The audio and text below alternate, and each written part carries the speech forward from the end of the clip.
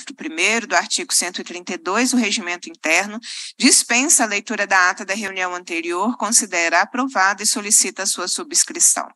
Essa reunião se destina a receber, discutir e votar proposições da comissão e a debater em audiência pública os impactos do projeto de lei 2202 de 2022 em tramitação na Câmara Municipal de Nova, Nova Lima, que autoriza o Poder Executivo a delegar, por meio de parceria público-privada, os serviços de educação do município de Nova Lima. Passa-se à terceira fase da ordem do dia, que compreende. Essa fase a gente não fará, Passa-se à primeira fase da terceira parte da reunião, que compreende a audiência pública. Comissão de Educação, Ciência e Tecnologia agradece a presença das nossas convidadas e convidados e convida a tomar assento à mesa conosco Juliana Sales, vereadora da Câmara Municipal de Nova Lima. Seja bem-vinda, Juliana. Denise de Paula Romano, professora, coordenadora geral do Sinjut Minas Gerais. Seja bem-vinda, Denise. Roberta Gonçalves, membro do Conselho Municipal do Fundeb, do Conselho de Educação de Nova Lima. Bem-vinda também. Diego Severino Rossi, economista e coordenador técnico do DIESE, da subseção do Sindiute. Bem-vindo também, Diego. Rosilene Clemente, presidenta do Conselho Municipal de Educação de Nova Lima. Seja bem-vinda, Rosilene. Ah, ela está online. Bem-vinda, ela está online, ela está conosco virtualmente. Seja bem-vinda, Rosilene. Cláudia Nair Sampaio, professora da Rede Municipal de Nova Lima. Bem-vinda, Cláudia.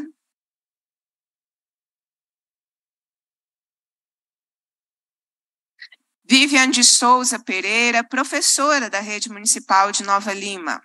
Bem-vinda, Vivian.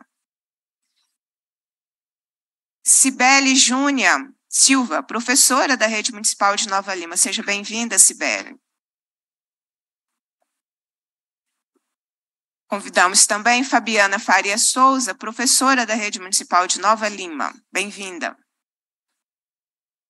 Shirley de Fátima Faria, servente escolar. Seja bem-vinda, Shirley.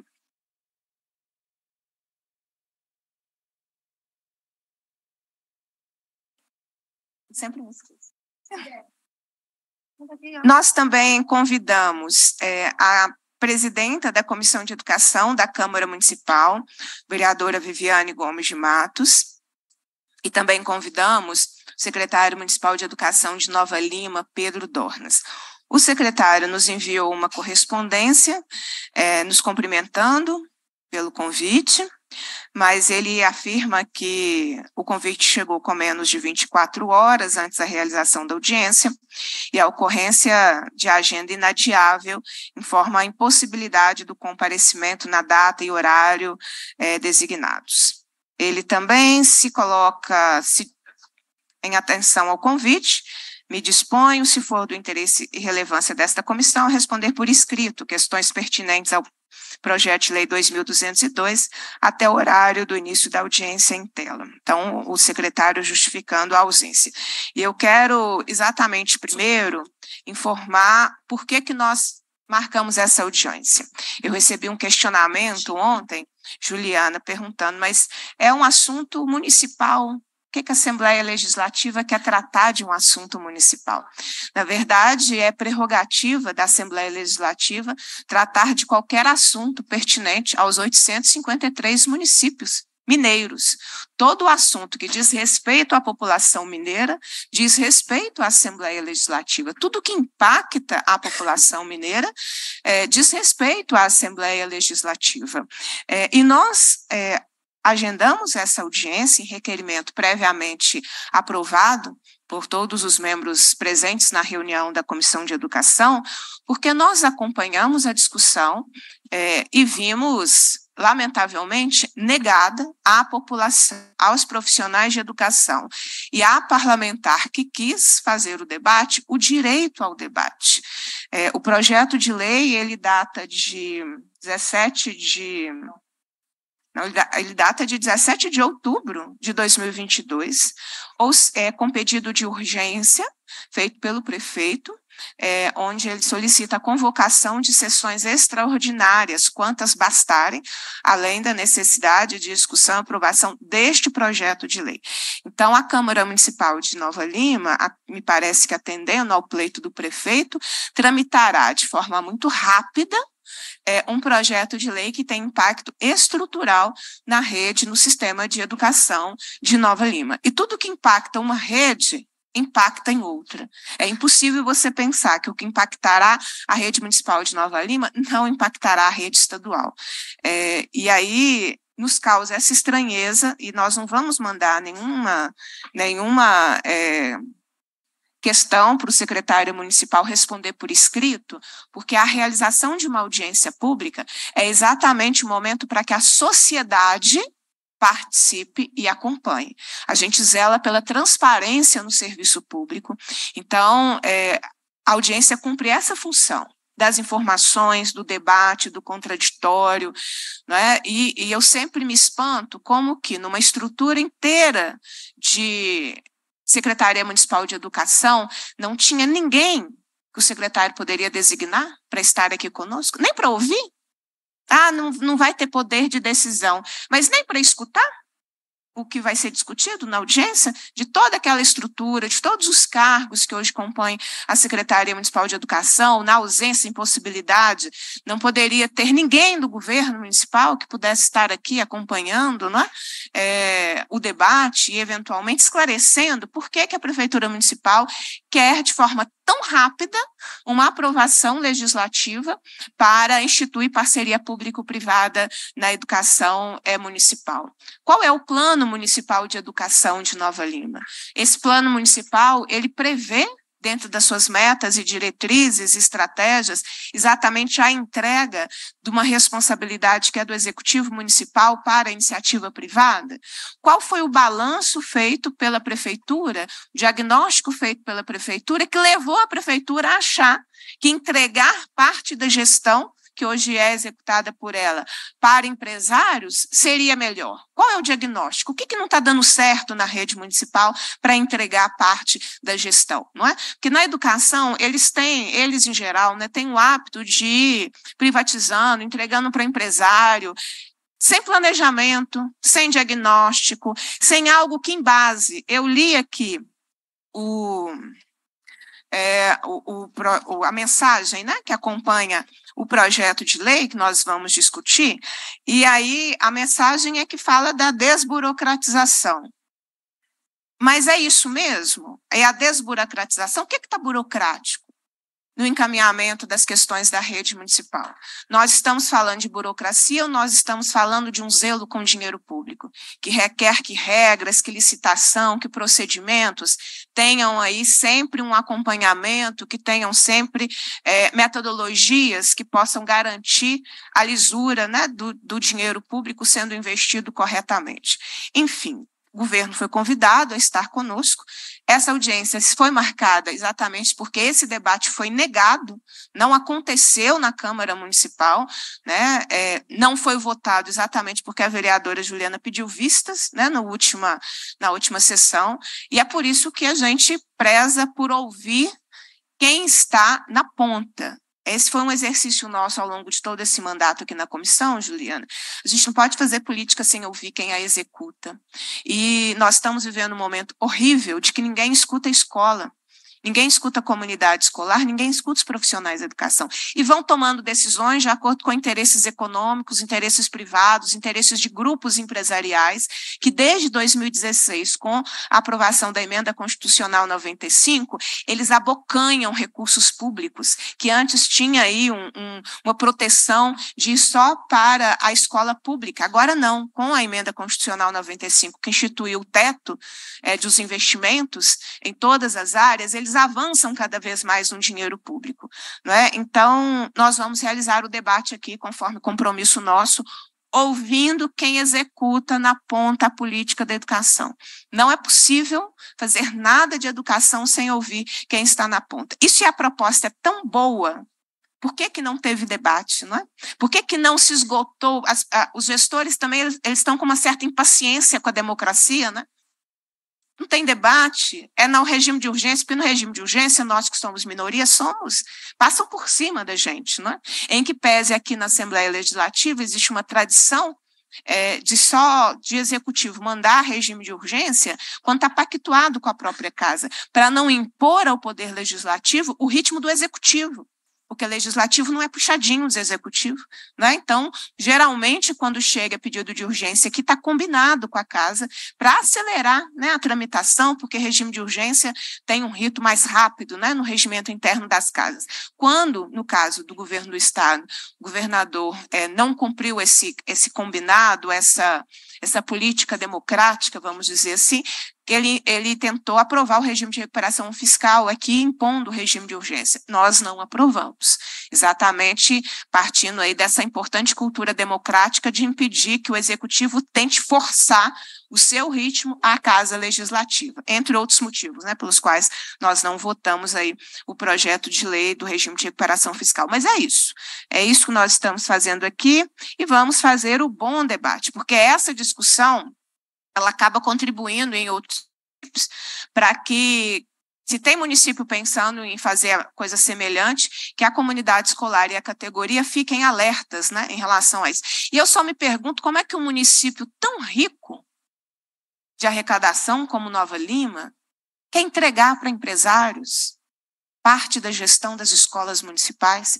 Era sempre para a gente ter a excelência via poder público. Né? Eu quero, antes de, dar, de iniciar aqui as nossas contribuições com os nossos convidados e convidadas, é, registrar a presença do Carlinhos, que é professor, foi prefeito de Nova Lima, então muito nos honra com a sua presença aqui. Daqui a pouco a gente te chama também para você dar, dar sua contribuição, mas muito obrigado pela presença e acompanhar os trabalhos aqui conosco. É, bem, vamos lá então. Vocês preferem que comece por você? Pelos professores? Mas por quê, gente? Me ajuda. Nós vamos combinar aqui a, a, a dinâmica.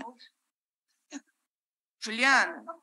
É, porque acho que é executivo, o DIESE, e aí destrincha, que eu acho que aí vem as informações, o processo. Depois, se quiser falar de novo, aqui você fala quantas vezes você quiser. Nós combinamos aqui a ordem da fala, nós vamos começar com a nossa vereadora Juliana Salles. A Juliana já é uma parceira de outras lutas, né? Estivemos juntas aqui em atividade de defesa da nossa querida Serra do Curral, luta que permanece atual, necessária. É, então, mais uma vez, bem-vinda, é um prazer tê-la agora aqui né, na Comissão de Educação, Ciência e Tecnologia, parabenizá-la pelo excelente trabalho parlamentar e te passo a palavra para suas considerações. Obrigada, Beatriz. Bom dia a todas, a todos. Obrigada por acolher essa demanda que é do povo de Nova Lima, que é da comunidade escolar nova limense, um pedido urgente para que a gente possa discutir o futuro da nossa educação, um projeto de lei que vai impactar a educação de Nova Lima pelos próximos 30 anos, que vai impactar o orçamento em torno de 2,5 bilhões e que a gente não teve sequer a oportunidade de discuti-lo com a comunidade escolar, com a população de Nova Lima e nem com os vereadores, já que não conseguimos realizar audiência pública na Câmara Municipal de Nova Lima.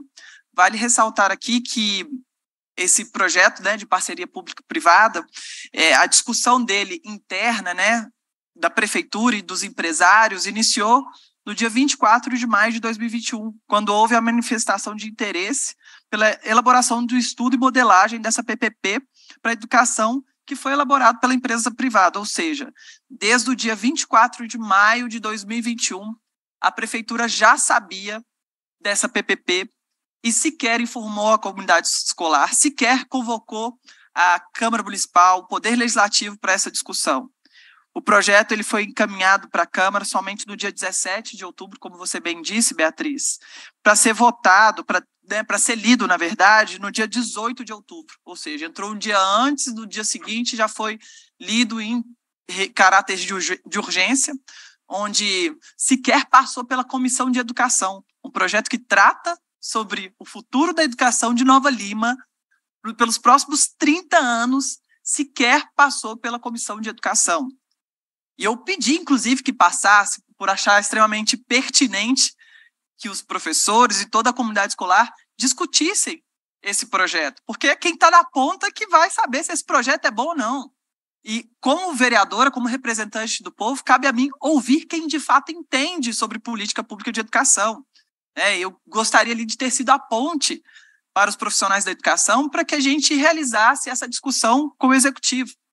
Mas não consegui, não consegui que o projeto passasse pela comissão de educação, não consegui que tivéssemos uma audiência pública para discutir o projeto em Nova Lima, não consegui é, promover uma discussão é, como era de direito das pessoas de Nova Lima. E ainda bem que a Beatriz nos acolheu e trouxe essa discussão para a Assembleia Legislativa. E é sim um espaço onde a gente precisa discutir a educação de um dos, de um dos 853 municípios mineiros.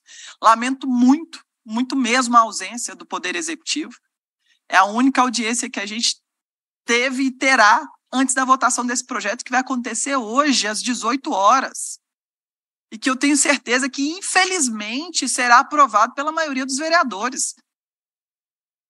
É lamentável que não tenhamos aqui a presença do executivo para apresentar esse projeto, para que discuta conosco e com toda a população nova alimense. É lamentável que o, o, o secretário de Educação sequer tenha é, enviado outra pessoa para representar a pasta de educação, e aqui a gente vai, então, é, fazer uma discussão sem uma das partes que é diretamente envolvida né, nesse processo. A gente recebeu do Poder Executivo, da Secretaria de Educação, o estudo da empresa que quer realizar essa, essa PPP, a gente recebeu isso ontem. Menos de 24 horas antes da, da, da, da votação do projeto. Ou seja, o, o, secretário não pode estar aqui porque diz que o, que o convite foi rápido demais em menos de 24 horas. Mas eu, enquanto parlamentar, posso votar um projeto onde eu recebi o estudo em menos de 24 horas? Como assim? Se o executivo respeitasse a população, respeitasse a discussão e respeitasse o legislativo, ele ao menos teria retirado o projeto de, de da Câmara. Esse aqui é o estudo que eu recebi e que eu tenho que ler em menos de 24 horas. Se eu estou com olheira hoje aqui é porque eu tentei estudá-lo em menos de 24 horas. Mas é impossível, porque inclusive falta dados. Falta um dado, por exemplo, onde não sabemos como que a empresa chegou no valor de 2,5 bilhões de reais. Bi. Por 30 anos. Como que chegou a esse valor? Aqui não explica. Aqui tem, temos aqui um levantamento é, de fotos, né, fotos, um levantamento técnico da, das condições físicas das escolas municipais, mas nós não temos como saber como que a empresa chegou a esse valor, a esse montante. 2,5 bilhões em 30 anos. E aqui vale, vale destacar também que temos a presença de um ex-prefeito de Nova Lima que não precisou entregar para empresários a educação e construiu escola e creche. Verdade.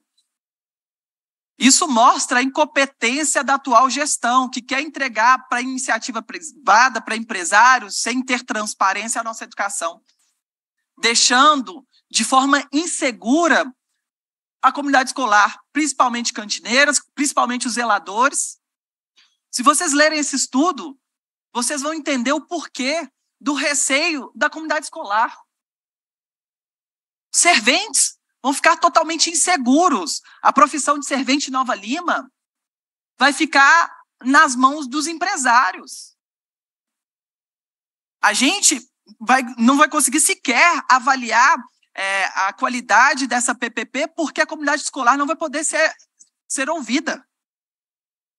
É simplesmente um checklist para saber se o, a PPP está funcionando ou não. A comunidade escolar não vai ser ouvida nesses 30 anos, não. As serventes, os zeladores, as cantineiras, as professoras, ninguém vai ser ouvido. Porque a gente sabe, a atual gestão não aceita discussão. A atual gestão não sabe ouvir o contraditório. É uma gestão que tratora qualquer tipo de discussão. E eu tenho certeza que já já vai sair na, em uma das rádios que apoiam é, o atual governo que eu sou contra a educação, porque eu estou aqui discutindo o futuro da nossa educação. E é uma gestão que não aceita discutir, não aceita o contraditório. Ela não sabe ouvir a comunidade escolar, ela não sabe ouvir a população e ela faz gestão dentro de um, dentro de um gabinete com ar-condicionado, que não visita a realidade, que não dialoga, que não sabe ouvir o legislativo, que acha que o legislativo é sim um puxadinho, que acha que o vereador é simplesmente um entregador de, de projeto de lei, onde a gente tem que abaixar a cabeça, e quem não abaixa, como eu faço, é tratorada pela mídia, que é, que é apoiada pelo executivo. É lamentável que Nova Lima vive, sobretudo na educação. É lamentável o que querem fazer com a educação de Nova Lima, entregando a nossa educação por incompetência de um prefeito que não sabe construir creche, não sabe construir escola. Em dois anos de mandato, ele se mostrou incapaz de construir ou de finalizar obras.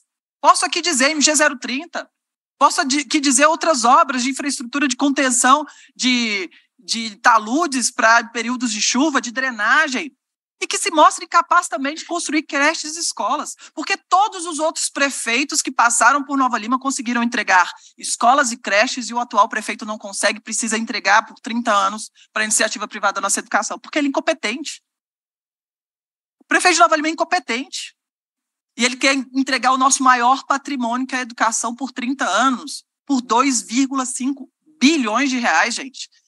Sem discutir com a sociedade, sem promover uma audiência pública. E são capazes de dizer que após a aprovação, que vão fazer audiência pública, Beatriz. Isso é inaceitável. E eles querem jogar nas costas dos vereadores que ah, a discussão só pode acontecer se os vereadores aprovarem. Mentira.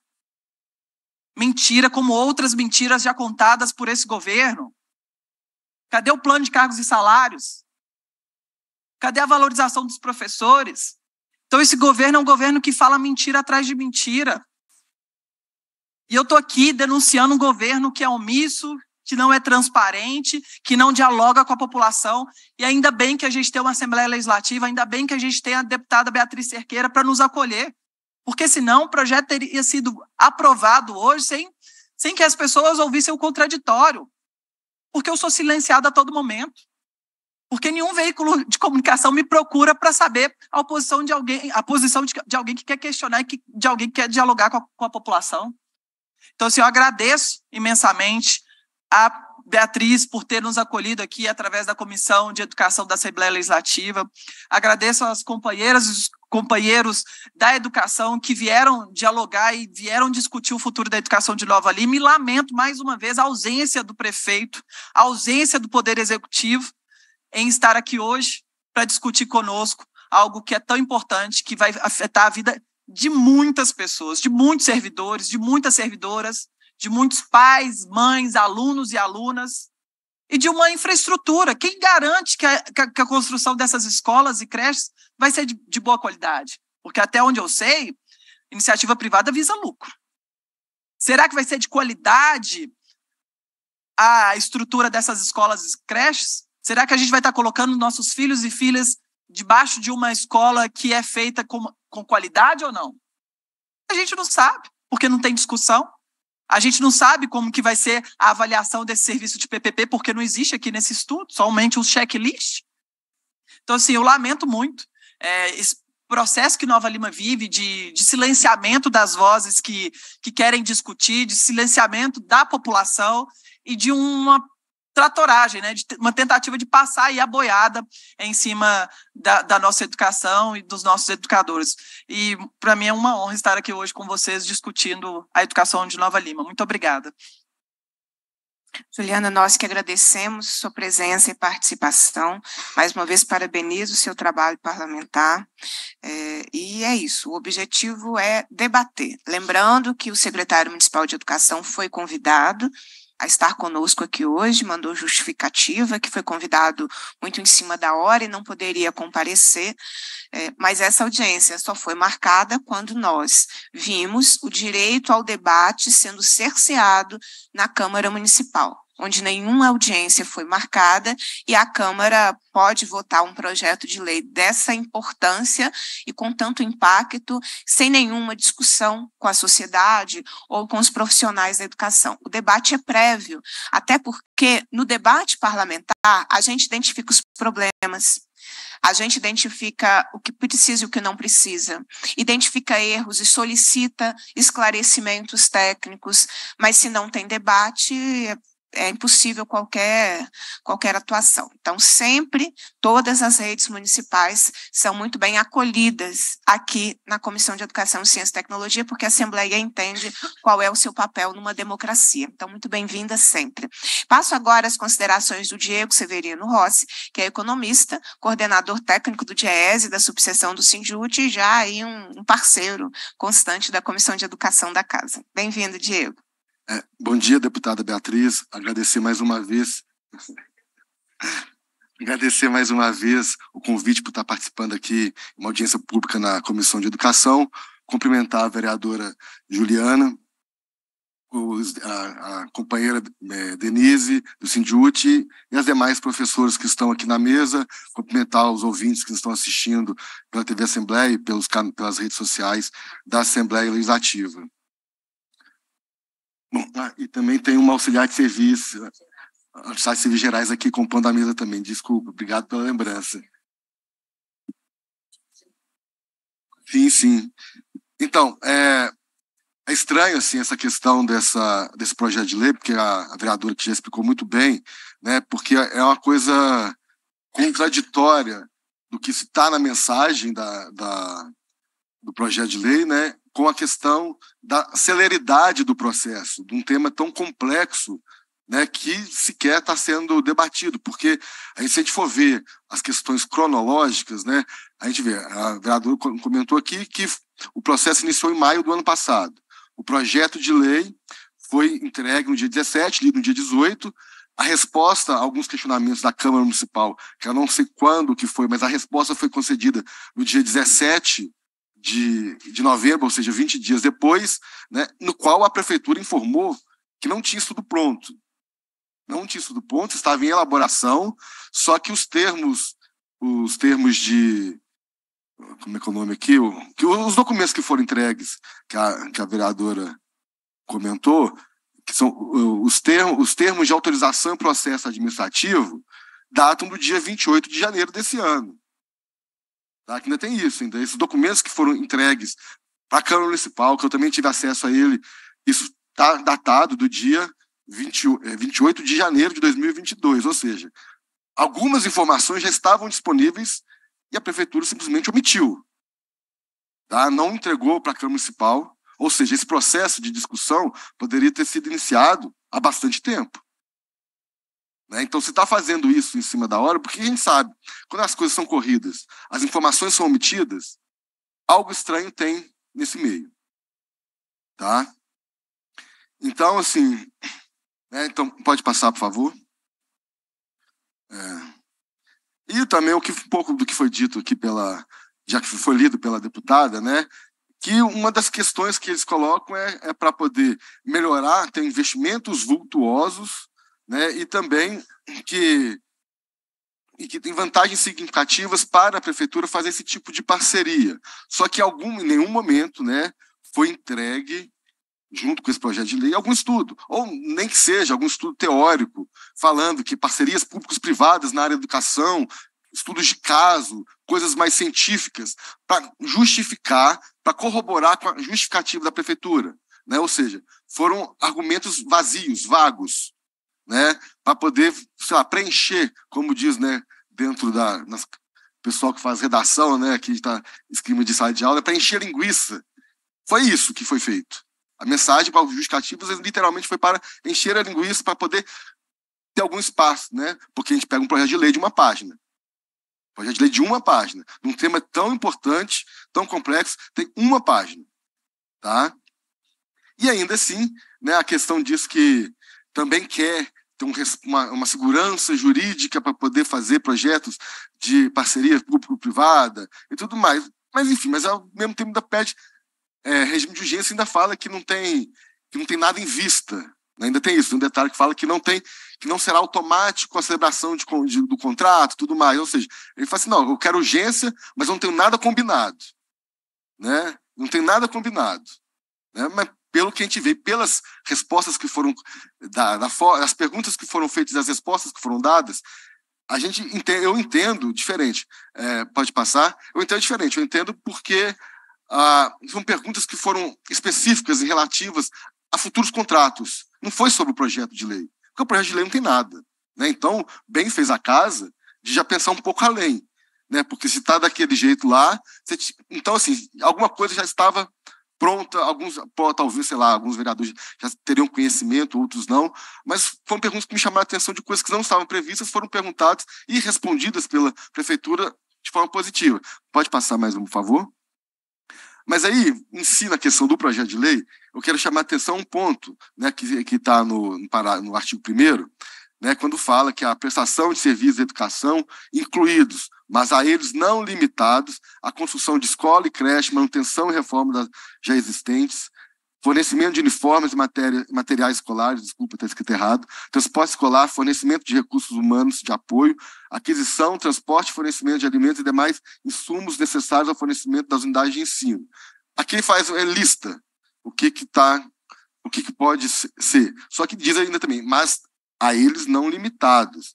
Né? Quando a gente pega a eles não limitados, pode passar, por favor, a gente está falando aqui que, por exemplo, os serviços de, de de serviços, os serviços gerais de vigilância, segurança, a própria biblioteca, entendeu? O serviço de apoio à educação infantil, porque a gente sabe né, que não só o professor da educação infantil, mas tem também aquela a parte de apoio, que também tem uma parte pedagógica, seria feito por um professor, mas a concepção e dito durante a reunião da semana passada entre o sindicato e a prefeitura, né, que eles vão contratar apoio que não é da área da educação, né, que vai contratar, um, às vezes, um auxiliar de serviços gerais para dar apoio para os professores de educação infantil. Então, ou seja, então, deixa amplo, ele é muito vago, ele é muito amplo, isso impacta, até mesmo numa área que não é muito a minha área pedagógica, muito dentro da prefeitura, da estrutura da qualidade da educação no município, né? E a gente também não pode deixar, é, deixar de falar, apesar de Nova Lima, a direção escolar ser uma função de indicação da prefeitura, né? No modelo proposto, como ele não conceitua o que são serviços não pedagógicos, por exemplo, não lista, ó, tais serviços vão estar, então a gente deixa um leque amplo. Tá? Ah, o contrato, esse que apareceu aí, pode estar listando alguns, mas o contrato é sempre aditivado, né, gente? Ao longo do tempo, pode incluir lá o serviço de direção escolar. Por que eu estou falando de direção escolar? Porque você tem no, no, conceito que direção escolar ela faz parte da administração escolar. E a administração escolar não é área pedagógica. Tá? Então, olha como as, as questões, o embate, a interpretação das situações podem ser feitas de várias formas. Por quê? Porque o, o projeto de lei é um projeto ruim, genérico, tá? e dá, é como se fosse uma espécie de cheque em branco para a prefeitura atual e as próximas gestões fazer o que quiser com esses contratos. Né? Porque vai estar, tá, não tem nada falando nada, então está liberado fazer tudo. Né? E só para lembrar né, que os, os, serviços pedagógicos são, são citados, são excluídos do projeto de lei. Pode passar, por favor? Aí, com relação à questão das perguntas que foram feitas pela Câmara Municipal à, à Prefeitura, então, é quando foi perguntar, porque assim, o modelo de parceria público-privada, o conceito de ciência tem vários modelos.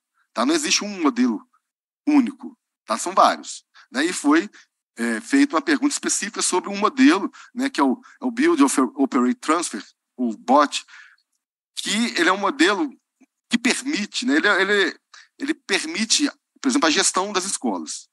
Tá?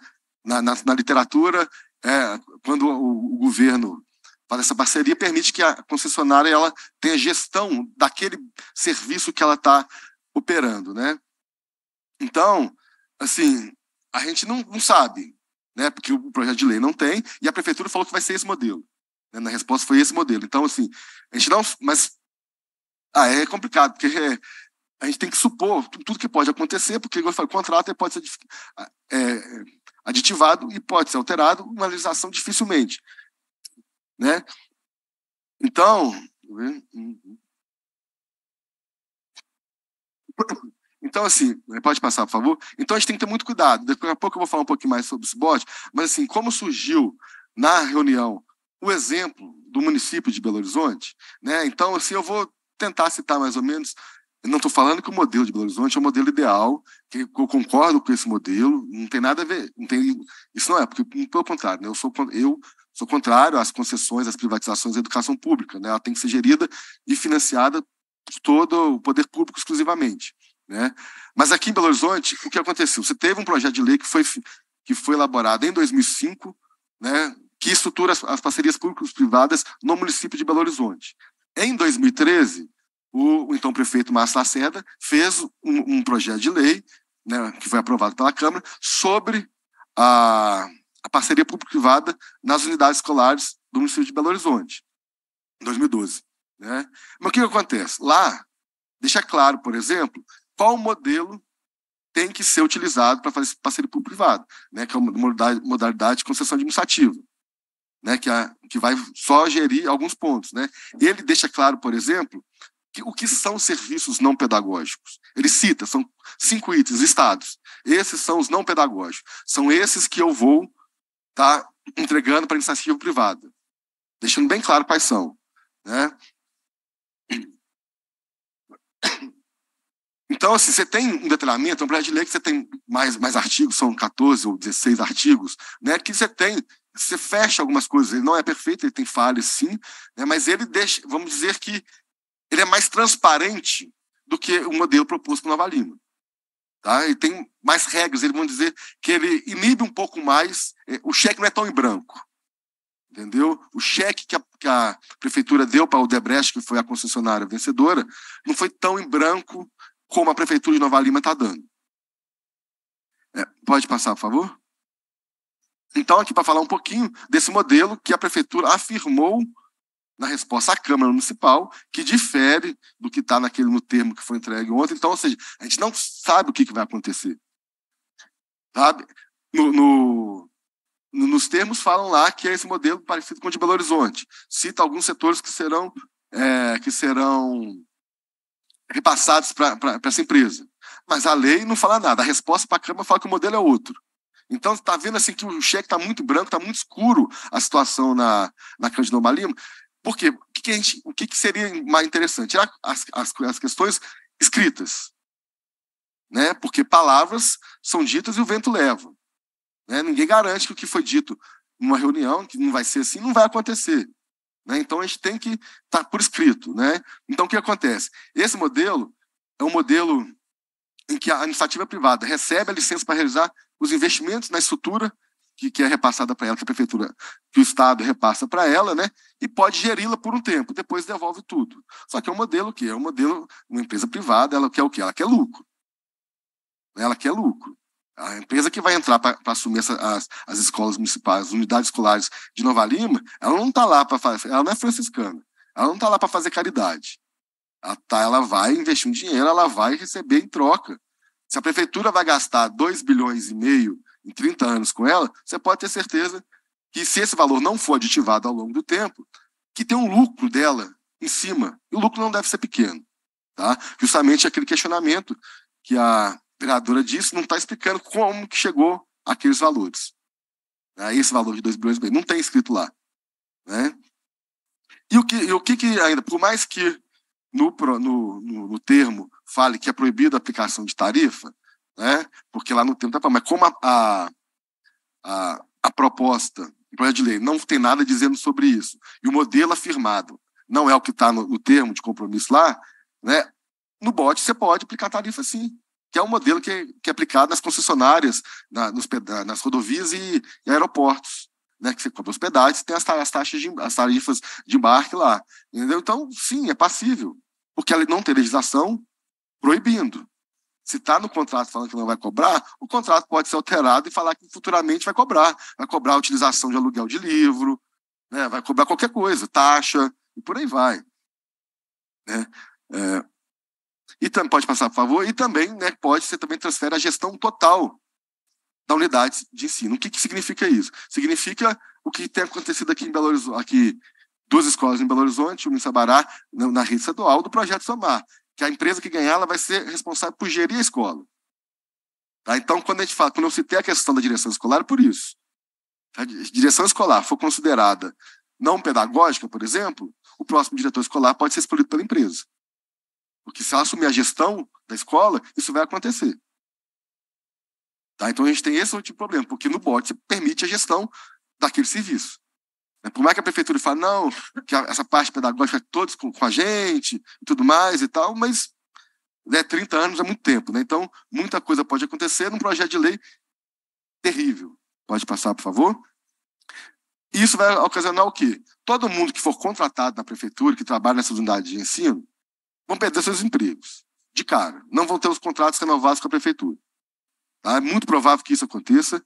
Tá? Por quê? Porque, principalmente no caso né, do, que a, que a Shirley comentou, dos do serventes escolares, dos auxiliares de serviços gerais, que são contratados, a prefeitura já disse que não vai fazer nada. Tá? Porque na resposta para a Câmara e também na, na, reunião, eles não falaram nada a respeito dos contratados, falaram só dos efetivos, que são o quê?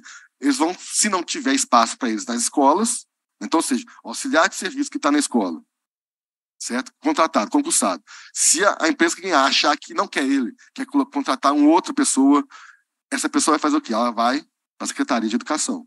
Fazer o que lá sabe, sabe-se lá Deus. Entendeu? Que isso também não foi explicado. Mas quem é contratado, que tem o, o contrato vai ser encerrado. Porque é muito provável que a, que a empresa privada vai contratar pessoas mais novas que aceitem salários mais baixos para trabalhar para ela. Tá? Isso é uma coisa que vai é, acontecer em todos os lugares, dificilmente será uma excepcionalidade em Nova Lima. Né? Então, nós estamos falando aqui não só do CV, mas de todos os servidores contratados correm esse risco. Tá? E aí a gente pode entrar numa seara muito obscura, né? porque se vier uma gestão da escola junto, seja agora ou mais para frente, vai dar um, pode dar um embora jurídico, por quê? Porque contratado é contratado. Então, professor contratado no, no longo prazo pode correr seu risco também. Da empresa de ter alguma alteração, e aí o que vai acontecer? Os professores contratados, que estão lá há anos sendo contratados pela prefeitura, serão demitidos contratados outros professores. Então, isso que é o que aconteceu aqui no projeto Somar. E vamos lembrar, né? Para fazer o projeto Somar, aqui no Estado não precisou de lei. Não precisou de lei estadual que garantisse isso, não. Tá? Ou seja, também não, então não precisa de lei para poder fazer a mesma coisa no Lima. Vamos ter, deixar isso muito claro. Se está acontecendo aqui é porque há brecha jurídica para isso acontecer. Tá? Então não se engane, quando o, o, o Pedro, igual ele disse na reunião, que professor é pedagógico, mesmo contratado, não vai ter interferência. Tá? Mas vamos lembrar, isso já ocorre. Aqui no estado de Minas Gerais, três escolas estaduais aconteceram isso, não precisou de nenhuma legislação. Foi só um edital para o pro, pro projeto. Tá? Nem decreto, o edital. Tá? É, pode passar, por favor? Mais uma? E tem também a questão da responsabilidade subsidiária. Mais uma, por favor. O que, que significa, resumindo? Olha só, as, a, os trabalhadores contratados pela empresa. Né? A empresa deu calote, quebrou, alguma coisa aconteceu. Aí eles vão entrar na justiça para receber todos os seus direitos. Se declarar falência, ou seja, ela não vai ter como pagar. Quem vai ser responsável por pagar tudo isso? A prefeitura. Entendeu? Então ainda tem essa outra questão que não foi se tratado em momento algum. Né? Ah, vai, vai levar anos. Ok, vai levar anos, mas se recai sobre a prefeitura, quem vai arcar com isso é a prefeitura. Tá? Então tem essa possibilidade, sim, disso acontecer. Falar que ah, é mais provável, menos improvável, isso é questão de futurologia. Tá? Mas que é possível isso acontecer, isso é possível acontecer. Pode passar, por favor? Uma outra questão que tem que chamar a atenção aqui é que a Câmara Municipal ela perguntou se serão utilizados recursos do Fundeb para financiar essa PPP. A, resposta da prefeitura foi que no momento não. Por que, que no momento não? Vou explicar para vocês. Os serviços que são que estão sendo privatizados, com exceção do uniforme escolar, todos eles se, se, enquadram na definição da Constituição de manutenção e envolvimento do ensino e também da LDB, ou seja, que são, que podem ser investidos os 25% da educação, que é a mesma definição do que pode ser gasto com recurso do Fundeb. Então, com exceção do, do, do uniforme escolar, todo, todos os outros serviços podem ser, sim, utilizados recursos do Fundeb. Então, isso é uma questão constitucional. Tá? Então, assim, então não há nenhum impedimento para que a prefeitura utilize recursos do Fundeb para pagar a PPP. Não há nenhum impedimento legal. Ela só não pode utilizar é, para a questão do uniforme escolar. Então, ou seja, no momento, a prefeitura sinalizou que ela não vai usar este ano. Ou, sabe? Mas e ano que vem? E no outro ano? A atual prefeitura pode falar assim, ah, na minha gestão eu não vou utilizar. Ok. Mas a próxima gestão? Alguém sabe quem que é? Quantas, as, quase sete gestões, quase sete gestões que estão por vir até o final do contrato. Você sabe quem, quem, quem vão assumir? Sete mandatos? Ninguém sabe. Então você não tem como garantir que as próximas gestões não vão pegar recurso do Fundeb e pagar PPP. Tá? Não, eles não estarão fazendo errado porque a legislação permite. Certo? A prefeitura tem essa prerrogativa de querer pagar recurso, ela pode. Então, assim, o recurso do Fundeb vai concorrer o quê? Com recurso com empresa privada. Então, a educação pública Nova Alimentos, os recursos da educação pública Nova Alimentos vão concorrer com, com, com empresa privada. É isso que está sendo colocado em jogo. Tá? Então, a disputa orçamentária vai ser essa. Está tá garantido, entre aspas, que por enquanto não, mas no futuro ninguém sabe. É, pode passar, por favor.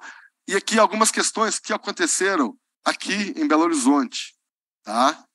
O porquê que foi interessante, assim, inicialmente. Por quê? Porque as obras foram muito rápidas. É por? Tem que ser rápida por quê? Quanto mais rápido tiver feito as obras, reformas, mais rápido vai ter o retorno. Mais rápido vai ser o lucro que, a, que as empresas vão conseguir. Né? Mas e a qualidade dessas construções? Ah, mas você tem lá o documento técnico com todas a, fala, as dimensões, padrões, não sei o. Aqui em Belo Horizonte também tinha. Aqui em Belo Horizonte também tinha. Entendeu? Dois, três anos, é, dois anos depois de finalizadas as construções, teve creche com teto desabando. Aí, como diz o Pedro, ah, mas o Santo Agostinho também desabou, né, o lá de Nova Lima. Você viu empresas privadas fazendo a construção sem, sem responsabilidade direta da prefeitura, do setor público, com péssima qualidade da construção, porque eu, eu morei durante 14 anos em Nova Lima, já tem bastante tempo que eu, que eu não moro mais lá, mas nesse período todo, eu não lembro de escutar notícia falando que teto de escola pública em Nova Lima caiu. A não ser que aconteceu um desastre, um, é, não, não só questão de chuva, assim, de que, que o barranco é, caiu por causa da chuva, aí caiu alguma coisa assim, mas choveu, o telhado não aguentou e caiu o teto, é, e caiu o teto dentro da sala de aula, eu não, eu não me recordo disso. E era gerido por quê? Pela, pelo setor público. Entendeu? Então, o que vai acontecer, isso vai acontecer, mas eu falo isso um pouco depois. Né? Então, aí tem aquela questão que aconteceu aqui, os, os servidores é, que eram contratados foram não eles foram terceirizados, a função deles foram terceirizadas, né? Então você perde aquele vínculo normalmente são pessoas que estão há bastante tempo relacionadas com a comunidade escolar. Aí você perde um vínculo, pessoas que não têm nada a ver com isso. Então a gente tem, a gente tem essa perda, né? E tem a questão dos controles unidades escolares pela essa, pela essa empresa, né? Então o que, vai acontecer? Aqui em Belo Horizonte, as escolas agora têm horário de, as mês têm horário de funcionamento. Tem horário de funcionamento. Então, o que, que isso vai acontecer? Se quiser fazer reunião fora do horário, tem que pedir permissão. Você não pode colar um papelzinho na parede. Imagina você, professor de educação infantil, que prega as questões na parede. Não pode. Entendeu? Então, o que acontece? Então, todo esse serviço, o que vai acontecer, a comunidade escolar, para concluir aqui, no primeiro momento, ela vai achar lindo, maravilhoso, todas as escolas reformadas. Vai estar linda, pintadas, brinquedos novos, aparelhos novos. Isso vai acontecer, a comunidade escolar vai, vai achar bonito. Mas com o tempo, os problemas internos, que provavelmente talvez não serão tão divulgados pela, pela mídia lá em Nova Lima, que vai ser os problemas da, de, de infraestrutura mesmo, coisas pequenas, igual maçaneta aqui em Belo as maçanetas de porta nem funcionam direito, entendeu? Essas, os problemas internos vão acontecer. Isso vai acontecer porque é, é comum acontecer. Tá? Isso em todos os lugares acontece porque o serviço a obra feita, ela não feita com a mesma qualidade se fosse responsabilidade do, do prefeito. Se fosse assinatura do prefeito ali, ele que seria responsável, a obra que ia demorar um pouco mais, provavelmente iria. Entendeu? Mas a qualidade seria melhor. Então, assim, como é que a prefeitura vai falar que está previsto nesse contrato aí de gastar por mês até 7 milhões de reais e já tem todo o documento com todos os problemas que tem nas escolas, ela mesma não consegue resolver. 7 milhões de reais por mês, 84 milhões de reais por ano, que dá os 2,5 bilhões de reais em 30 anos. Tá? Então, assim, não, por que, que a prefeitura não consegue? Se ela vai ter que desembolsar 7 milhões, até 7 milhões de reais por mês, milhões por mês para a empresa, por que, que ela mesma não pode gerir esses recursos com mais responsabilidade, mais segurança e mais qualidade na oferta do ensino público em Nova Lima. Muito obrigado. Nós que agradecemos, Diego, lembrando que nós convidamos o secretário municipal de Educação de Nova Lima para estar conosco. Na sua ausência, ele poderia ter designado um representante que pudesse acompanhar a audiência para que pudesse, eventualmente, esclarecer dúvidas né, ou questionamentos. O secretário municipal de Educação optou por não vir e optou também por não enviar nenhum representante. Lembrando também que nós convidamos a presidenta da Comissão de Educação da Câmara Câmara Municipal de Nova Lima, é, a vereadora Viviane Gomes de Matos, que não, não justificou até o momento a sua impossibilidade de estar conosco. Mas temos aqui a Juliana Sales, vereadora da Câmara Municipal, que tem feito um importantes questionamentos a respeito dessa modalidade aí de privatização da educação em Nova Lima. É, o que o Diego nos apresentou fica disponível para você no site da Assembleia Legislativa, todo o conteúdo da audiência fica disponível e todas as apresentações feitas pelos convidados e convidadas. Eu passo agora as considerações Roberta Gonçalves, que é membro do Conselho Municipal do Fundeb de Nova Lima e também membro do Conselho de Educação de Nova Lima. Roberta, obrigada pela presença, com a palavra para suas considerações.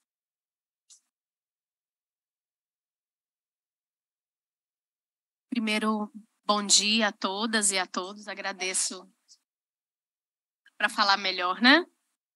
Primeiro, agradeço a todas e a todos que estão aqui prestigiando e para poder até mesmo repercutir né, o teor dessa audiência, agradeço o convite.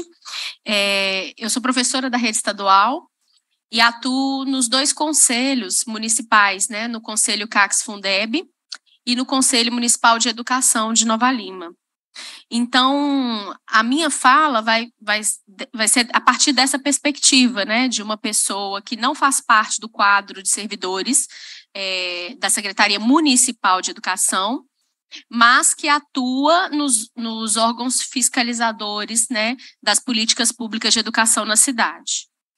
Então, é, eu anotei algumas coisas aqui para gente pra eu trazer na minha fala, que primeiro ponto é com relação a qual é a atuação que os conselhos, né, qual que deveria ser, né, e qual é a atuação dos conselhos municipais de educação em Nova Lima, né? Então, assim, é uma luta é, histórica para participação é, popular nesses conselhos, né? Porque, a, assim, a notícia que a gente tinha é de que, na maioria das vezes, as participações elas são escolhidas, né?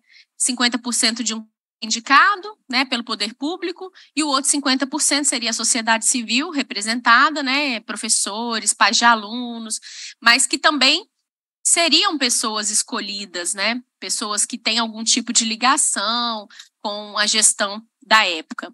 Então, assim, é uma luta muito grande estar dentro de um conselho e não fazer parte de nenhum de, de, nenhum, de nenhum grupo de interesse relacionado ao governo municipal. Né? Então, assim, é, eu tenho alguns pontos, principalmente porque o Conselho Municipal de Educação e o Conselho do Fundeb são duas para quem não conhece a atuação, né, são duas entidades que fiscalizam as políticas públicas. No caso do Conselho do Fundeb, fiscaliza também né, o gasto do recurso público com a educação, o recurso que vem via é, impostos federais e estaduais e que deveriam ser destinados para determinada área. Né? Então, esse projeto da PPP, que foi enviado para a Câmara de Nova Lima, ele já é, ingessa também, ele tira do poder do povo, da sociedade civil, né, é, o poder de fiscalizar esse recurso. Porque a gente fiscaliza, por exemplo, um contrato de licitação, a gente tem o direito de é, consultar é, os valores, consultar o processo. Agora, a partir do momento que você entrega via pacote fechado né, para uma empresa privada fazer tudo, comprar uniforme, merenda escolar, é, contratação de servidores, né? Prestadores de serviço, reformas, tudo isso você está tirando dos conselhos a possibilidade de fiscalizar como esse dinheiro foi gasto, com o que, que foi gasto, os valores, se os preços que são declarados eles são preços de mercado. Você tira também, né, é, o poder da população, porque quando você tira o poder do conselho de fiscalizar, você tira também o poder da população de fiscalizar o executivo, o orçamento do executivo. E a educação é o segundo maior orçamento do município, né? É o segundo maior orçamento. É 25% né, da arrecadação municipal, ela tem que ser investida em educação. E aí eu, eu, quero trazer, porque a prática, não só de influenciar as tomadas de decisões dos governos, mas é uma do, dos conselhos, também é uma prática dos dois últimos prefeitos, né, do Vitor Penido e do João Marcelo, é, e dos seus respectivos também secretários de educação, que aí eu vou incluir a Viviane Matos, que foi é, secretária e agora é vereadora, é, uma outra secretária que substituiu, que chama Roberta Batista, é, e agora o Pedro, né, o Pedro Dornas, que é uma política deles é, de não ouvir os conselhos, sabe? De não ouvir, de não dialogar com os conselhos. Quando esse projeto foi para a Câmara de Vereadores, para ser votado, ele não tinha sido discutido. É um projeto que tem uma duração de 30 anos, no mínimo, de 20 a 30 anos. Um projeto que tem um orçamento previsto, né, que a gente ficou sabendo agora, 2 bilhões e meio de reais. É um projeto que vai impactar em carreiras, em extinção de carreiras públicas, porque os serventes escolares que hoje são concursados, eles se mantêm se a gente não tiver aí a, a má sorte de ter um gestor que põe uma tipo uma bomba no bolso dos, dos servidores, como a PEC 32, né? Que, que tentaram colocar no bolso dos servidores e que, graças a Deus, ainda não foi né, votada. É, se a gente não tiver o azar, esses servidores vão ter o, o seu emprego garantido, né? Mas se a gente tiver o azar de uma aprovação de uma lei dessa no futuro, esses servidores não têm garantia do emprego mais, né? Então, é uma, é uma questão de extinção, é, é não fazer concurso público, entregar tudo para a iniciativa privada, é, paralisar os conselhos no sentido de limitar o seu acesso ao orçamento, ao acesso de saber como é, como é gasto esse orçamento, né? E um projeto que foi desrespeitoso, desrespeitoso sob ponto de vista de ser uma página, uma lauda, uma página frente e verso, né? Duas laudas, uma página só, sem nenhum tipo de esclarecimento, sem nenhum tipo de debate com a categoria, sem nenhum tipo de debate com os conselhos, sem nenhum tipo de debate com a população, foi enviada em caráter de urgência. E o que o governo tem dito é o seguinte: a gente aprova primeiro e depois a gente vai discutir, vai modelar junto ouvindo a sociedade. Eu, como mãe, né, e como filha também, me lembra uma, uma fala das mães, né? Quando você sai com seu filho e fala assim: olha, na volta eu compro, sabe? Eu, eu, eu sinto é isso que eu sinto enquanto conselheira, enquanto mãe, enquanto servidora pública, né? Esse debate vai acontecer mesmo, será? A gente tem um governo que tem a prerrogativa é, de, primeiro, discutir com os conselhos, não faz esse debate. Ele manda direto para a Câmara faz um projeto com uma página, com, com um termo é, sem que não limita a atividade dessa PPP, né? Então, assim, dificilmente a gente vai ter aí um debate com a população, onde a população de fato seja ouvida e reconheça quais são os limites disso. E é um impacto de 30 anos, gente, não tem condição. Eu acho que os vereadores de Nova Lima deveriam pensar primeiro isso. A gente passa, a gente nem sabe se daqui a 30 anos nós, nós é, é, meus netos vão estar estudando, meu bisneto vai ser o quê, né? Quem que vai estar estudando na rede municipal? Deveriam estar protegendo o, o patrimônio público, protegendo os conselhos da fiscalização desses recursos, né? Colocando o conselho é, na possibilidade de melhorar sua atuação e não de esvaziar. E aí, é, e é muito estranho, porque em uma, uma reunião que a gente fez com o secretário de Educação, no dia 11 do 11, que foi a única reunião onde a gente teve a oportunidade de ouvir, né, é, uma explicação da prefeitura sobre é, esse projeto, ele mencionou como esse projeto surgiu quando ele ainda não era secretário de Educação. Esse projeto surgiu quando ele era secretário de Esporte. Né? E ele disse com todas as letras na reunião do Conselho de Educação. Quando ele era secretário de esporte, ele estava buscando uma solução para quadras e espaços de lazer na cidade, de solução de organização, solução de colocar é, uma gestão eficiente nesses espaços. E aí surgiu a ideia da PPP, do esporte, que não aconteceu, que não teve nenhum desenho, que não teve nada. Mas a empresa parece que viu a oportunidade. Ah, não, o orçamento do esporte é muito pequeno. Eu acho que é melhor a gente fazer na educação. Há mais de um ano e meio atrás, o secretário nem era secretário de educação e já tinha sido autorizado a fazer esse trabalho de pesquisa nas escolas. Então, eu acho que a gente precisa né, é, pensar que investigar quais são as relações que existem né, entre a atual gestão da educação em Nova Lima e a empresa que foi autorizada a fazer esse estudo. Se existe alguma relação, né? Então, assim, enquanto conselheira, eu acho que seria é, importante isso. E antes de discutir, votar, mas não vai ser possível, né? Infelizmente, a Câmara de Nova Lima vai aprovar um projeto de uma página que vai impactar durante 30 anos e um orçamento de 2 bilhões e meio de reais hoje, sem nenhum tipo de debate. Então, assim, isso é muito triste e é nesse sentido que eu gostaria de manifestar aqui meu repúdio à atuação do secretário de Educação. É isso.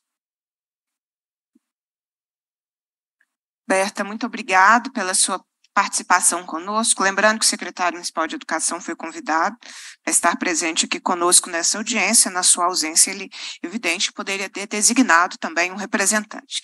Projeto de lei que é, a Roberta está se referindo aqui, ó, uma página. Projeto de Lei 2202, nós estamos debatendo aqui a audiência, que autoriza o Poder Executivo a delegar, por meio de parceria público-privada, o serviço de educação no município de Nova Lima. É, ele é é como se um, um, uma, uma, legislação meramente autorizativa, né?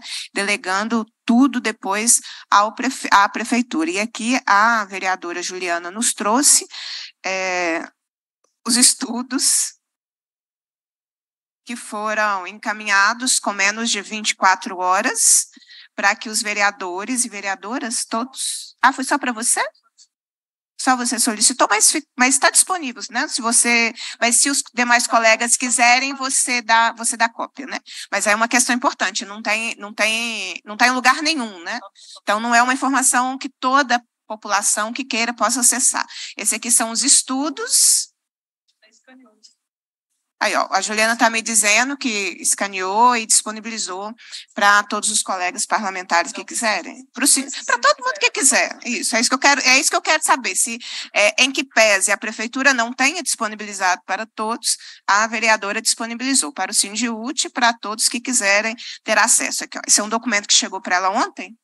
Ontem, segunda-feira, à tarde, no final do dia, de um projeto que vai ser votado, está na pauta de votação hoje, nós estamos falando aqui de uma proposição que autoriza parceria público-privada em que termos, condições é, não estão descritos no projeto de lei. Eu vou chamar agora a Rosilene Clemente, a Rosilene é presidente do Conselho Municipal de Educação de Nova Lima, está conosco virtualmente para que ela também faça sua contribuição ao trabalho. Rosilene, você nos escuta?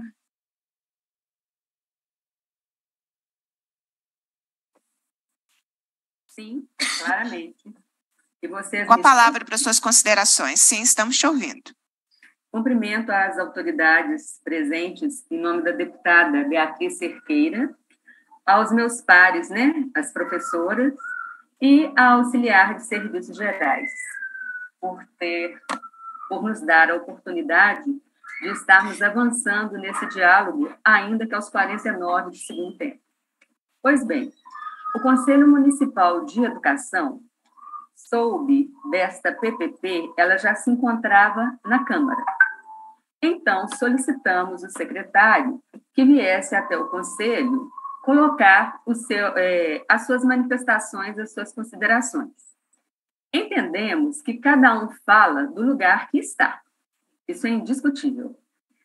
E os vereadores hoje têm a chance de aprovar ou não essa PPP. O que cabe ao Conselho, até onde ele tem o alcance, como foi falado aí reiteradamente, que é um projeto de lei de uma página, foi justamente cercar as brechas do cheque em branco. Não que limitemos o valor desse cheque, mas nós tivemos o cuidado de tirar, né, de suprimir vários termos que davam uma abertura, uma interpretação muito ampla até 30 anos de prestação de serviço da PPP. E outra consideração importantíssima a fazer. É, nós teremos eleição agora, dia 28 de novembro. A Roberta estava falando aí da questão da participação da população, da participação dos professores, principalmente. Um número baixíssimo de inscritos. As pessoas ainda, elas não tomam para si que a prestação de serviço público é para ela e dela, ela é que paga. Não é o prefeito, não é o secretário, somos todos nós munícipes que vamos pagar esta conta. Se der certo, ok, mas se não der, então, o Conselho Municipal de Educação, eu hoje estou aqui participando muito mais para ouvir, porque é muito bom ouvir os vários atores que compõem esse cenário, mas a minha manifestação é no sentido do que foi deliberado no Conselho Municipal de Educação, que foi justamente as alterações que nós entendemos que faziam com que esse projeto de lei não fosse um cheque totalmente branco Será acatado? Não podemos afirmar, porque o conselho ele é deliberativo. Então pode ser acatado ou não. Agora, é, Diego, desculpe se eu não me fiz entender, mas a equipe gestora das escolas municipais elas são eleitas. Elas são eleitas, elas não são indicação, exceto, exceto nas unidades onde não há candidata própria se não há interesse ali dentro daquela unidade, aí sim há uma indicação. Então, eu parabenizo a oportunidade, agradeço e vamos ver o que acontecerá hoje às 18 horas na Câmara Municipal de Nova Lima. Mas o diálogo respeitoso é sempre muito importante. Obrigada. Slene, nós que agradecemos e, de fato, a gente faz já um apelo, né? para que tenha um processo de discussão, de esclarecimentos, que esses estudos que foram apresentados sejam tornados públicos né, por parte da prefeitura, de modo que a, qualquer projeto de lei, ao ser votado, é, todos nós saibamos né, dos impactos, dos riscos. Então, eu, é, de fato, esse apelo aqui é importante. É, eu quero passar as considerações da Cláudia Sampaio, que é professora da Rede Municipal de Nova Lima. Bom dia. É, primeiramente, né, agradecer a presença física, né, de quem pôde estar, é das minhas colegas. Queria agradecer o espaço aberto democrático, que eu acho que a gente é, precisa de espaços, né, como a Assembleia. Pena que nós não temos um espaço democrático, uma casa legislativa aberta, né, para uma conversa, um diálogo com a população. Né? Nova Lima tem que avançar muito nessas questões é, de direito, de democracia mesmo. Queria agradecer ao Sindiute, é, é, é Diego está sempre nos acompanhando do DIES Condados. Queria agradecer a Beatriz, né, por ela também ter é, Estado, eu acho que nós não demos o voto para ela em vão, né? Ela representa muito bem a educação e a comissão, por abrir, abrir sempre esses espaços para a gente poder estar tá é, discutindo e, e, e, a gente a educação é o, é o carro-chefe de qualquer partido político, de qualquer política que se queira fazer, qualquer políticas públicas, é a gente que eles querem detonar. A palavra é essa. Eles não dão sossego para a educação. E agradecer a Denise, né, que colocou toda a estrutura também é, física e tem nos ajudado, principalmente em Nova Lima. É, é, nós pegamos uma gestão é, eu, como professora, eu sou professora da rede, fui contratada, é, tive gestores, e eu posso falar é, de gestores que acompanharam né, a evolução. É, nós tivemos Carlinhos, ele está aqui presente. Nós tivemos um gestor que realmente preocupou com a educação, construir escolas. A creche começou com Carlinhos. Eu sou da educação infantil, eu posso falar isso. Então, a gente hoje vê em Nova Lima um desmonte de tudo que foi proposto enquanto educação infantil.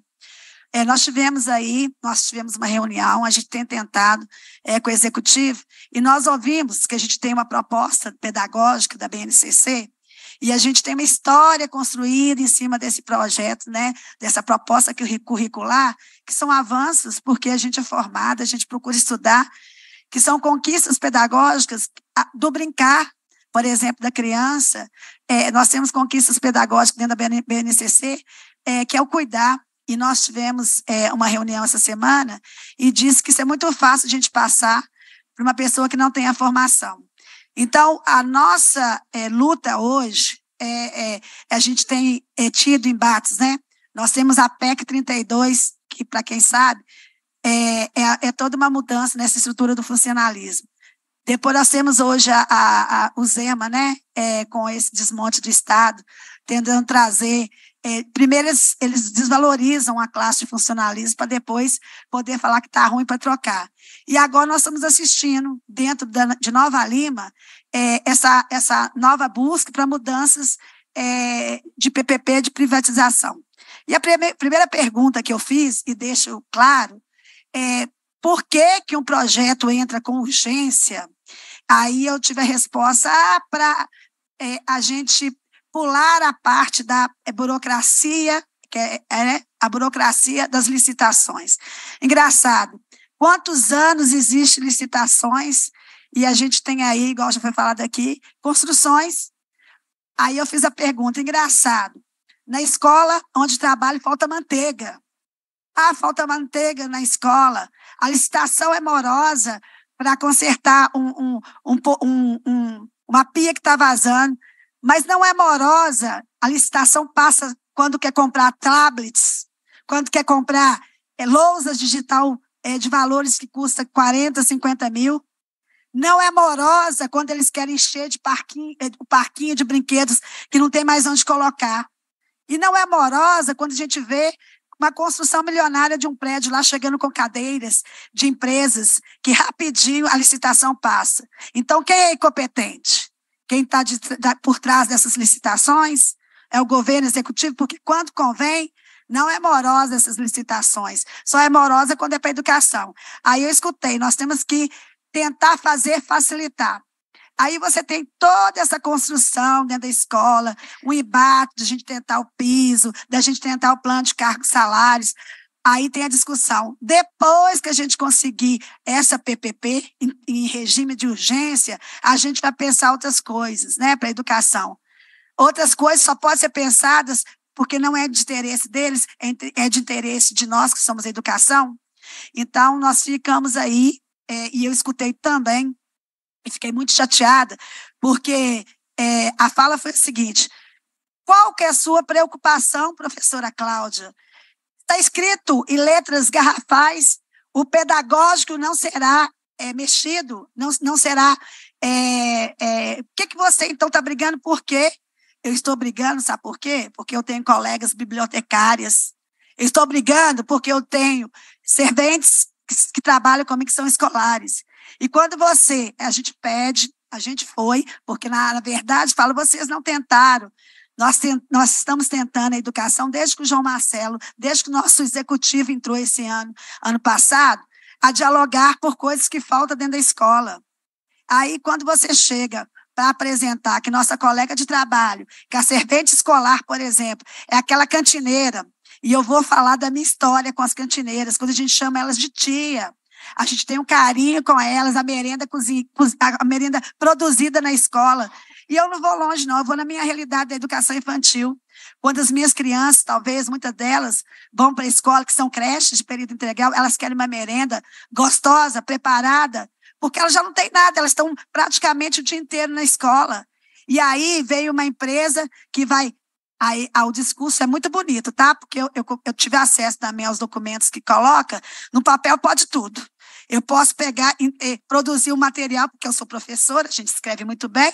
Eu estou acostumada a corrigir, fazer TCC, o que mais tem, a gente escrever bonito. No papel pode tudo, pode ter feito. Mas não me perguntou, não, me, não foi perguntado na minha escola. E eu tenho direito de ser perguntada. Se tem um estudo, são 30 escolas, 28 escolas que teriam que ser perguntado para todas essa uma, 99,999%. Mas se 0,00,1 não estiver de acordo, ela tem que ser respeitada. E na minha escola não foi feita a pergunta a gente queria essas mudanças, que na verdade é uma mudança que pode impactar. E eu fiz a pergunta: por que, que não? Por que não? É, faça para sua gestão. Faça por dois anos. Ingesse para dois anos o seu, o seu mandato. Por que quer engessar uma, uma concessão de, de, de 5 a 35 anos? Nós temos um monopólio hoje dentro de Nova Lima é, de empresas de, de, de, transporte, que a gente sabe muito bem disso, de monopólio de, de, de duas empresas, que tem mais de 30 anos de concessão. Pergunte se a concessão é empresa única, monopólio, é, tem, é, quando tem ônibus, tem frota de ônibus e horário é, para quando a gente precisa. Nunca. Sabe por quê, gente? Porque quem está ali pegando o ônibus todo dia é, é, é o pobre. Essas PPPs, essas políticas públicas, são feitas, para quem? Para ricos empresários. Empresários não querem administrar de graça, não, eles querem ganhar. Eles estão ali para ganhar. E aí, quando eu volto na questão da merenda, eu vou pelos meus alunos, além da, can, da cantineira que está ali. E aí, a gente vê ali, por exemplo, eu falo que vem kiwi, porque tem verba para isso. A verba que vem do governo federal vem para isso. Vocês acham que uma empresa que vai privatizar, que vai fracionar essa merenda, vai ficar colocando na frutinha das crianças kiwi, uva? Ou você acha que ela vai querer enxugar gastos? Ela não vai fazer a mesma qualidade da merenda, não. Eu conheço empresas que há terceirização e que há todo esse trabalho de é, comida fracionada, vem carne é, mal passada, porque não tem o cuidado que as cantineiras têm. Então, assim, é muito fácil falar, né? Ah, vamos fazer política, a gente vai, depois a gente vai moldar, depois a gente vai construir. Quem acredita em palavra de político? Depois não, a gente quer no papel. A discussão é essa. A discussão é essa. Nós queremos no papel, né? É, por exemplo, a emenda que foi feita para demais que a gente nós questionamos, que, fe, que faça emenda também para as cantineiras, porque serão o quê? Cargos obsoletos na escola que não vão, não vão existir? Poderão ser é, é, excluídos é, do serviço delas, porque não vai ter função? Então, assim, a gente pede, né, nós pedimos é, que realmente seja discutido, é, tem ainda tempo né, da Casa Legislativa, os vereadores é, é, tem um projeto hoje em mãos que tenha consciência de votar não e pedir que esse projeto volte para ser repensado, que seja estudado, já que chegou é, é só ontem, né? É, os documentos que a gente possa estudar e falar, não, aqui a gente pode, o que a gente não pode.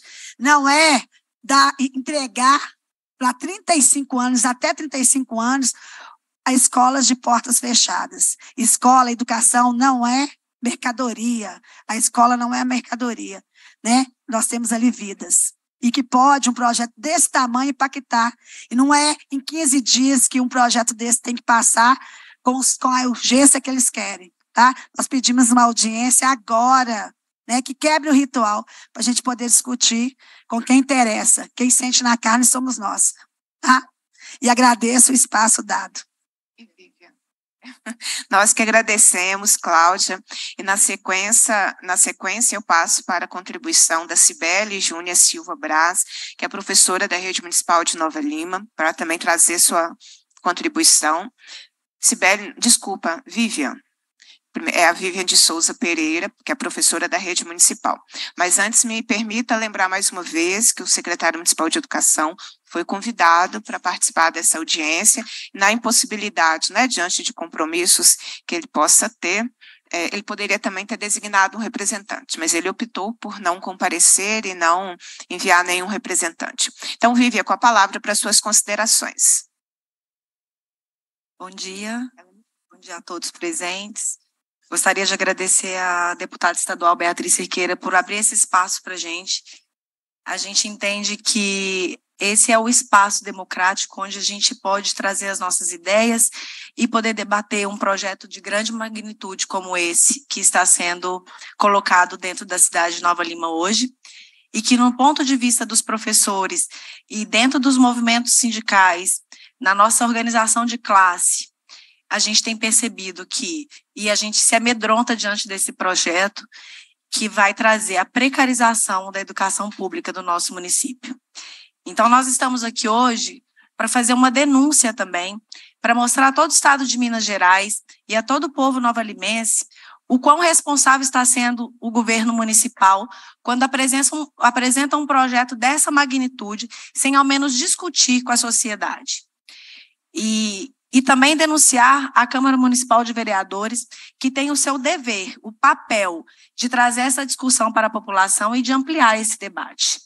Foi necessário que a nossa deputada, e pela sua sensibilidade, nos trouxe aqui nesse espaço, que é um espaço que hoje a gente tem buscado fazer dentro da Câmara Municipal de Nova Lima e não estamos conseguindo.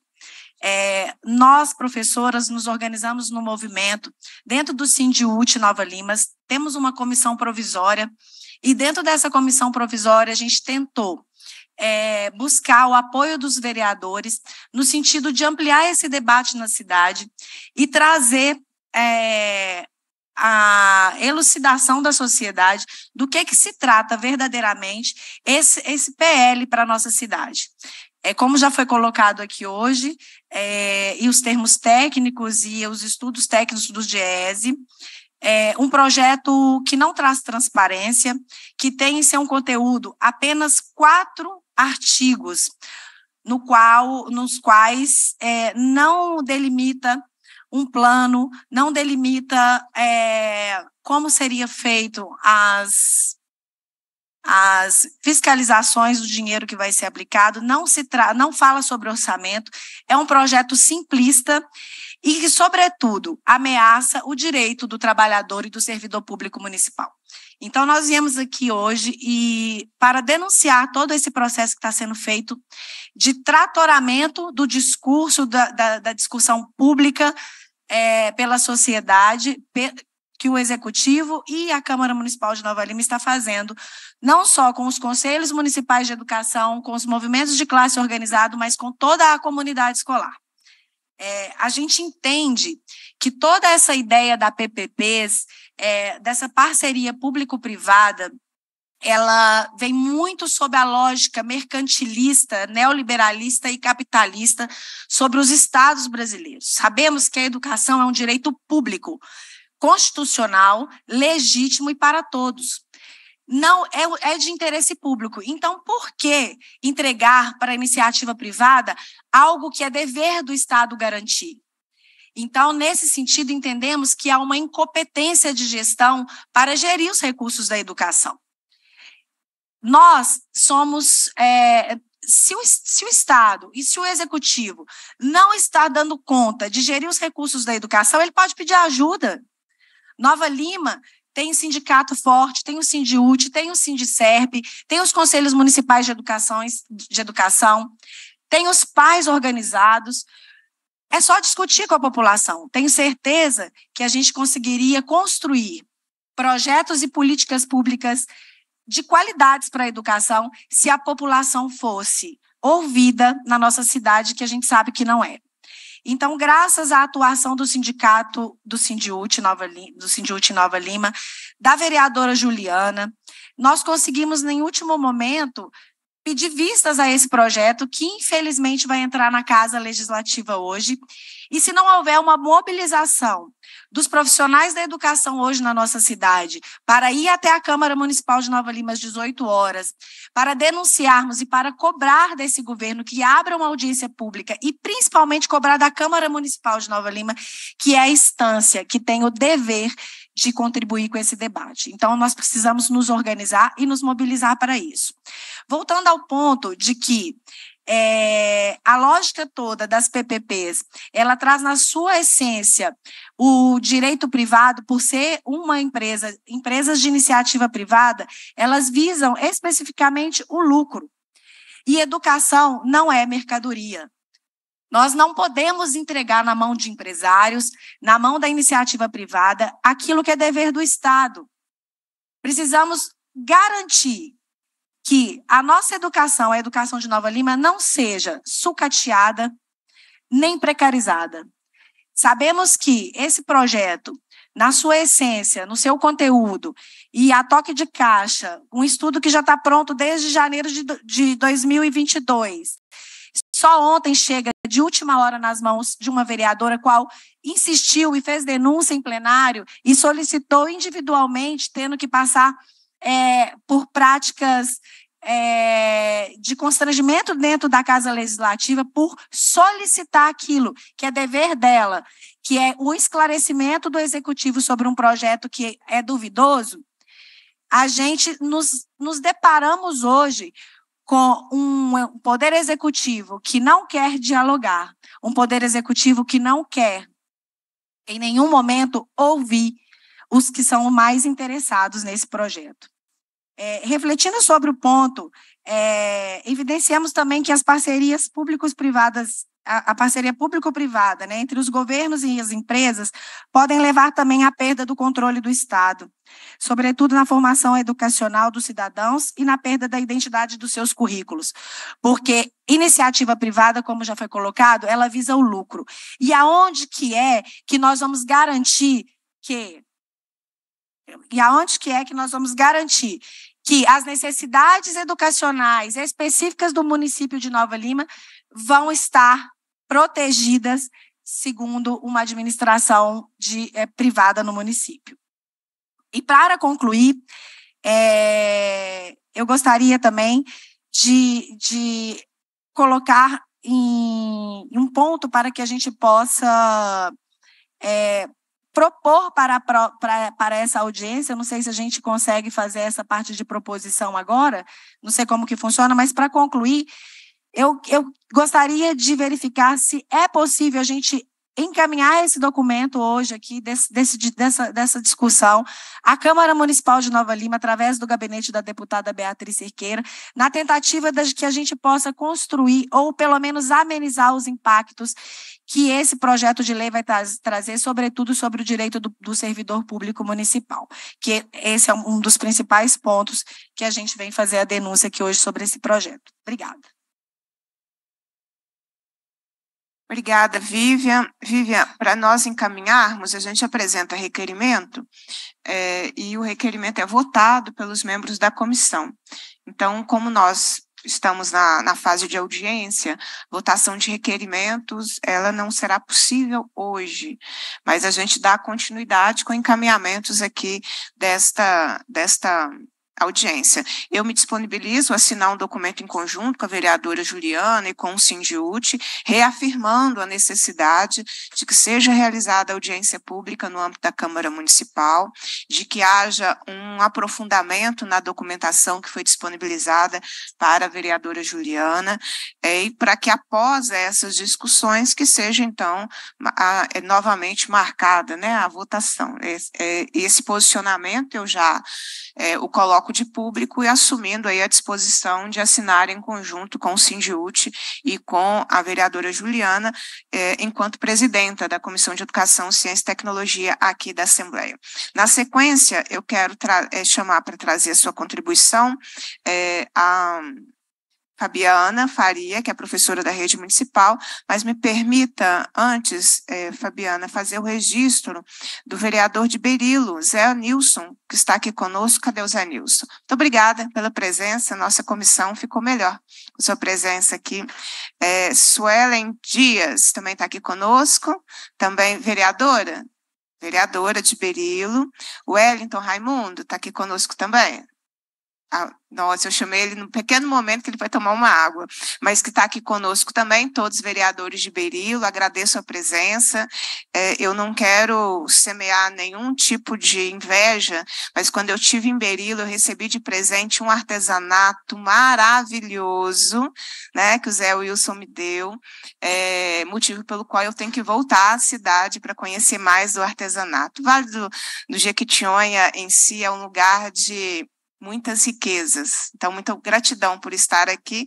É evidente que eu não quis semear nenhuma é, nenhuma inveja, longe de mim promover né, esse sentimento aqui numa audiência pública. É, eu vou mostrar o final artesanato, que eu conheci inclusive artesã, não é? A gente valorizar nosso povo que faz coisas belíssimas. Daqui a pouco eu mostro o artesanato. É, Fabiana Faria, com a palavra para suas considerações. Bom dia a todos e todas.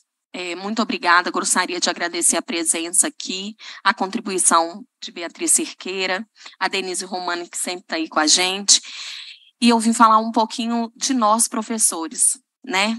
E não só nós, professores, porque a gente acredita que esse projeto é, é, a população pode pensar que esse projeto atinge só a educação, mas isso não é verdade. Né? Vai chegar um impacto em todos os lugares, inclusive nos empresários de Nova Lima, né? Porque as licitações também poderiam estar sendo feitas é, para os, os, empresários de Nova Lima estarem nas escolas também auxiliando. Então, isso impacta lá na sala de aula, no pedagógico, por mais que não tenha falado. Não gostaria de, e principalmente nas serventes escolares, né, que é uma tristeza. É, nós da educação, nós viemos com diversas demandas desde que João Marcelo entrou, que esse o executivo, né, na pessoa do João Marcelo entrou, e nós é, desde então a gente vem conversando com ele sobre as demandas da educação. E essas demandas, eles conhecem muito bem, já estão sendo negligenciadas, né? Esse ano já negligenciou um reajuste de 33,24% para a educação, para os profissionais de educação. A gente pede formação continuada para os profissionais de educação, recursos didáticos pedagógicos que chegam na escola como se passasse um mel numa escola de 200 alunos, seja 7, 5 recursos pedagógicos para a escola inteira. Então, é tipo passar um melzinho na boca. E isso é, nos angustia muito quando a gente vê esse projeto, se com todos os recursos que vêm para a educação em mãos, eles não conseguem gerir de forma a contemplar não só os profissionais de educação, mas também os recursos didáticos pedagógicos para os alunos, né? E isso coloca-se a merenda nas escolas, que nós, inclusive, já reclamamos, nós professoras, que uma época estava é, oferecendo nas escolas é, ovo e leite né, e que atualmente também acontece isso em momentos, e a mídia só passa outras, outras, né, quando a merenda é bonita, então a gente fica muito é, angustiada. Se esses recursos, se eles estão com esses recursos em mãos, e aí passa-se esses recursos para a iniciativa privada, o que, que vai acontecer tirando mais do pedagógico? Eles colocam também que não vai ter impacto nenhum com as serventes e no pedagógico da escola.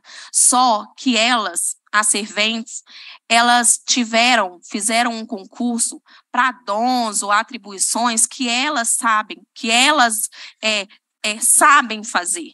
E, de repente, é, lá naquele edital, quando elas fizeram esse concurso, lá nesse edital não falava que elas deveriam, há um tempo, há X anos, elas deveriam se atualizar e se formar, ou ter uma formação continuada de algumas horas para elas virarem apoio pedagógico na escola.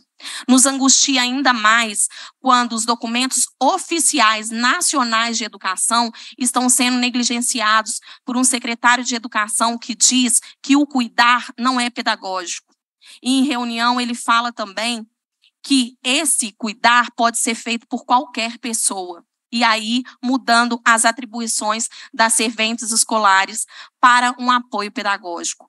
Automaticamente, isso já precariza a educação e a qualidade do ensino também. E isso eu gostaria de fazer, né, de falar que a empresa privada, como todos falaram, elas visam lucro.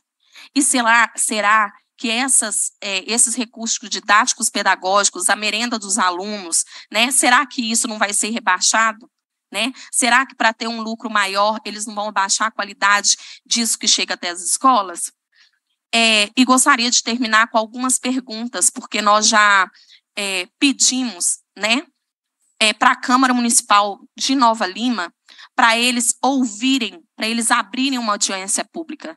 Nós estamos aqui na Assembleia Legislativa hoje porque a Câmara dos Vereadores, eles não abriram né, para a gente estar conversando com eles, porque eles não fizeram um estudo desse documento todo, né, Juliana, que Juliana trouxe, que Juliana recebeu agora, e eles estão querendo aprovar hoje. Então, a gente vem pedir também, e é uma forma de denunciar para toda a sociedade civil, tanto de Nova Lima e do Estado, porque vai passando, é uma cascata, né? Vai chegando em todos os municípios, igual eles falam, que isso já acontece em vários municípios, mas igual foi falado o, o DIESE, por dados do DIESE, o que acontecem com, essas, com esses municípios que, fa, que fazem é, essa parceria público-privada.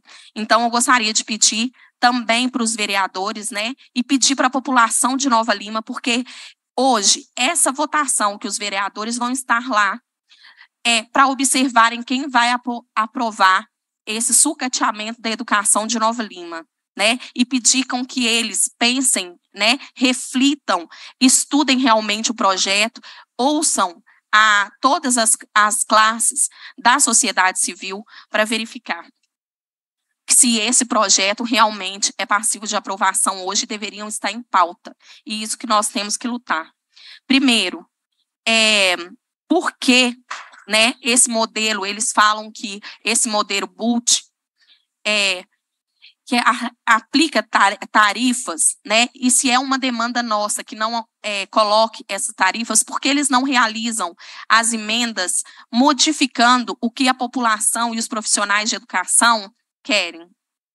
Por que não chamar os profissionais de educação e principalmente as serventes escolares que não foram chamadas? Falou que as diretoras vão é, modificar né, o trabalho delas e diminuir para que elas foquem no pedagógico. É, foram falado para elas, eles pensaram, mas isso está escrito no projeto, né? Está escrito num projeto que não vai afetar o pedagógico, que não vai afetar as serventes, e essas serventes, e essas serventes, elas não estão é, na no serviço público e nas escolas, nas suas lotações, que coloque isso também nas emendas é, que o plano de cargos e salários seja colocado também, porque isso é uma demanda da educação. Por que não complementar né, esse projeto de duas laudas e não complementar com que nós estamos falando em relação às nossas demandas? Por que não consideraram os, as considerações realizadas pelo Conselho Municipal de Educação por que não colocaram isso? Se é, não vai acontecer, não terá problema nenhum com os profissionais, não vai é, diminuir a qualidade do ensino. Por que, que eles não colocam isso como uma emenda? Por que não complementar a PL para aplicação dessa taxa futuramente, caso venha acontecer? E, principalmente, por que negar o pedagógico quando ele fala sobre os documentos oficiais nacionais da educação e, com isso, precarizando a qualidade do ensino. Então, eu gostaria de fazer um pedido aí à Câmara Municipal de Nova Lima, em nome das professoras municipais, que a gente gostaria que tivesse realmente uma discussão, um estudo sobre todo esse projeto, antes deles darem um voto em branco. Nós esperamos né, que hoje não seja aprovado e que realmente peçam uma audiência pública. Aguardamos isso. Obrigada, Fabiana. Eu vou passar as considerações da Shirley. A Shirley de Fátima Faria Souza, que é servente escolar, é a nomenclatura, está correta? Isso. Servente escolar. Porque cada rede é, é um nome, né? No Estado é auxiliar de serviço de educação básica. O que a gente sempre refuta é, é alguém falar serviçal, né? Porque não existe é, serviçal é, na escola. falam uma né? coisa, né? É, então, mas me permita antes, Shirley, só registrar a presença da Marcele é, no chat, porque durante a audiência as pessoas podem se manifestar pelo chat, né? Dando sua opinião, questionamentos, etc. A Marcele, que é professora da rede pública municipal de Vespasiano, em Ribeirão das Neves, está dizendo: estou assistindo essa audiência pública, estou atônica com este projeto de lei perigoso e que abre brechas para outros municípios. Obrigada, Marcelo, pelo, por acompanhar nossos trabalhos aqui. Shirley, com a palavra para suas considerações. É, bom dia, né? Bom dia a todos, bom dia pela o espaço que você está dando a gente aqui, Beatriz. Bom dia para todos, né? Juliana fazendo a parte dela como vereadora, né? É, ao lado da gente, eu sou servente, servi, eu sou servente, né? Escolar, que é o dado que foi, que foi, é, foi para que eu fiz o, o, o concurso, né? Eu sou servente escolar com muito orgulho, toda vida eu gostei muito de mexer em área né, de cozinha e tudo mais, e com esse passar do tempo, gosto muito mais. Ao passar do tempo, a gente aprende muito, vê muito, eu sou muito questionadora sabe? Eu questiono demais. Eu sou a tal da isso, tanto que só eu estou aqui, que eu sou aquela que fala demais, mas eu não falo por mim nem para aparecer. Eu falo as coisas erradas que eu vejo, entendeu? E questiono. E falo, inclusive, não é só por mim, eu falo por todas, porque eu sou servente e as outras também são. Então, eu, assim, eu vejo pessoas, tem, tem pessoas na minha escola que têm 44 anos, não sei se se aposentou, porque tem muitas pessoas ficam caladas, né? Mas por muito tempo, não, tiver, tem tempo de, de, de, de contribuição, mas não tem, não tinha idade, né? Então, com essa reforma que foi feita em 2017, me parece, não sei certo, que até perdeu essa oportunidade de aposentar e continuar, né? Porque o que foi nos tirado também. É, eu, eu, na época que eu fiz o concurso, eu fiz para trabalhar de sete horas, são 35 sema, é, semanais, tiraram da gente o ticket, depois voltaram com, sem porcentagem, né, o ticket foi bem abaixo, que eu, na época, eu, eu conversei com Viviane, antiga secretária, para mim era ticket, eu falei, isso não é ticket, isso é ticket miséria, e, em, esses anos todos que eu estou lá, não tive aumento, nós não tivemos aumento, só tiveram, só, só tiraram da gente. Eu questionava a merenda, merenda, é, é, qualidade da merenda, chegava lá, eu chegava lá, a batata já estava, na hora que eu via, né, que estava chegando, é, é, tomates podres, batata podre, não sei o quê, e eu questionava, o que, que é isso, gente? É um absurdo, são, é dinheiro da gente né? É do bolso da gente. É, é, isso aí, né? Há pouco tempo também eu até reclamei da, da feira que a gente ganha, que eu tirei a foto, eu falei, vai matar a gente no Natal? É porque é lavagem? Então, tem muito nome de, de questionar, mas não é questionar para aparecer, é questionar porque é dinheiro da gente público. E muitas das pessoas não vieram porque são pressionadas sabe? Tem medo. Eu estou aqui hoje, por mais que eles assinam essa PPP, com certeza eu vou ser perseguida, eu vou ser perseguida, e muito não. É, cadê a lotação? Vai continuar? Eu, contra, eu vou continuar lá, né? Eu, eu na, na escola. É, a, aqui, se hoje eu vejo muita coisa errada, se hoje eu, eu questiono muita coisa e as coisas ainda acontecem, imagina com uma, uma uma PPP com uma, com uma, uma, uma, empresa privada. Vão me tirar, logicamente, vão me tirar. Eu ainda tenho o apoio de eu ser viúva, ter uma, uma, uma pensão, né? Que mesmo assim, ainda a gente corre o risco do jeito que o mundo está acontecendo hoje, perigoso até pensão tirarem da gente. Mas tem gente que é arrimo de família entendeu? Tem pessoas lá que estão trabalhando porque necessitam, está trabalhando, arrastando, está fazendo aplicação, tomando comprimido para dor muscular, porque entregaram a vida 35, 40 anos entendeu? Uhum. Hoje, eu, eu, há pouco tempo atrás, ano passado vai fazer um ano, eu tive uma coisa que inexplicável, né, Fabiana, que é minha filha aqui, que eu, não, eu fiz exames, to, exame de cabeça, de choque e tudo mais, para saber o que, que eu tinha. Particularmente, eu imaginei que eu estava com uma, uma doença neurológica de, de, de, de matar, que meu irmão teve, e quando foi olhar, sabe o que, que era? É, é depressão. Depressão e olha que eu me desabafo, eu falo, né? Imagina quantas pessoas que tem e não desabafa. Então, eu estou aqui representando, é, vamos falar assim, olha lá, só está aquela Aparecida, só ela. Mas eu estou aqui por todas que não conseguem falar, que não tem essa voz, né? que não tem a coragem. Eu até me manifestei um dia na escola que eu, vocês são todas covardes. Eu prefiro perder meu dia hoje e mesmo amanhã, se eu falar, eu fiz a minha parte. Entendeu? Eu fiz a minha parte, mas eu conheço a cada, oh, eu sou, tem gente que tem, a gente conhece cada criança, o porquê que ela não comeu, porque que ela está quietinha, sabe? O, o porquê que ela fez isso. Eles vêm do colo, eles dão um coraçãozinho para gente. Isso aí, além do trabalho, por mais aperto, por mais pressão, o local que eu trabalho são não sei quantas pessoas com água fervendo. Eu tenho marca no corpo de queimadura. Pessoas já caíram no local que não tem estrutura para trabalhar. Entendeu? A gente está lá é por causa realmente do dinheiro, mas tem amor porque se a gente sai de lá pelas perdas que tivemos, com certeza, pela pressão que a gente trabalha, a gente poderia fazer faxina numa casa e ganhando muito mais, entendeu? Mas eles não olham isso. E quanto à questão, vou ser mais rápida, e quanto à questão, hoje eu nem tomei o meu remédio, porque ele está me deixando grogue. E por, pela questão de que eles falam assim, igual o dia que eu questionei, eu vou na Assembleia, na reunião da Câmara hoje, eu vou na Câmara hoje e eu estou explicando. Eu disse, fui fazer minha obrigação, deixei adiantado meu serviço e falei, eu vou lá eu explicando que eu não quero também prejudicar minhas amigas, entendeu? Eu, eu quero, deixei o serviço lá, expliquei à diretora, eu estou indo, você sabe que é um direito que eu tenho, mas eu deixei lá, porque está acontecendo isso, isso, isso.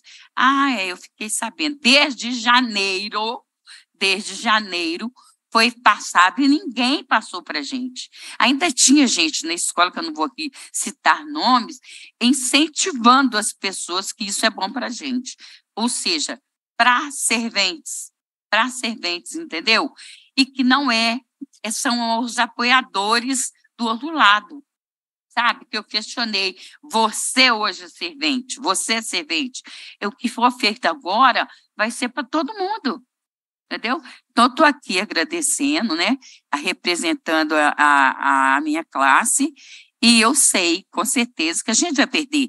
Para elas, é para elas, ele colocaram na cabeça dela que a gente não vai perder a, a, a lotação, que a gente não vai perder o emprego, que isso não existe, entendeu? Então, não sei até quando nem ser o pensamento deles, mas é, é, é, é, eu, o que eu penso, a gente está assustada, e eu estou aqui representando, né? De repente tem muita gente que nem, nem fala assim, me representando, não. Mas é, a Câmara, eu fui na Câmara também lá, né? Você viu, Juliana, aquele dia na Câmara, que eu xinguei todos os vereadores aqui. Quem elegeram vocês não foram é, não, foi o, o, não foi o prefeito, que ele, ele, o executivo que elegeram vocês, e nem foi os, é, é, os, os empresários, foram, foram pobres que elegeram vocês, né? Então, vocês têm que olhar, faça um papel diferente, muda isso. É isso que eu estou aqui para representar, tá? Muito obrigada. Nós que agradecemos a presença da senhora aqui, sua contribuição, seu debate. É, eu acompanho escola pública há muito tempo e desde a primeira fala da Juliana, ficou uma coisa muito, muito nítida, que a PPP é uma forma de terceirização de serviços. Então, todas as serventes escolares correm sim risco.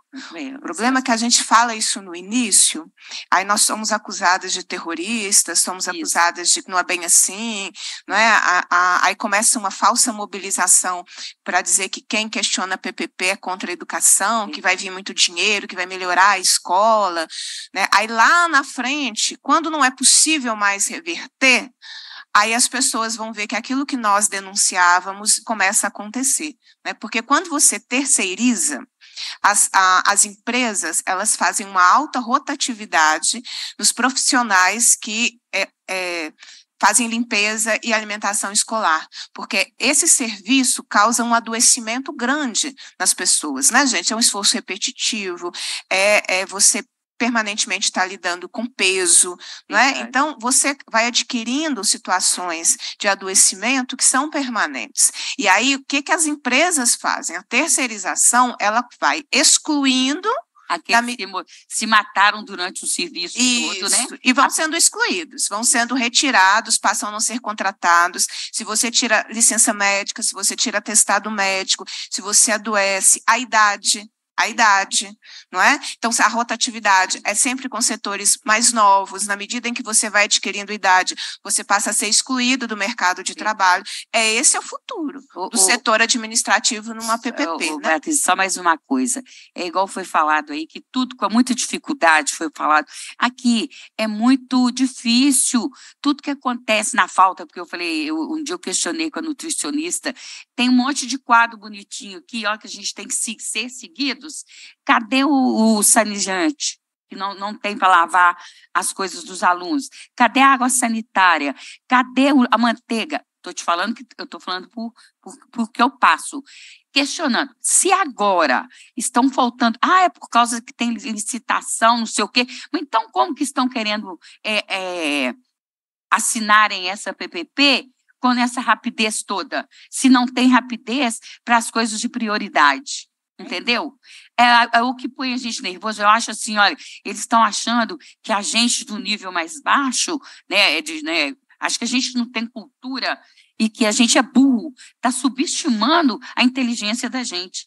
Eu falei no dia que eu estava na reunião lá na Câmara, que eu fui chamada é, pela vereadora lá dentro, que eu falei bem o que eu achava, é, eu falei, você subestima a inteligência. Eu não tenho curso superior, mas a vida me deu um canudo eu sei me defender, entendeu?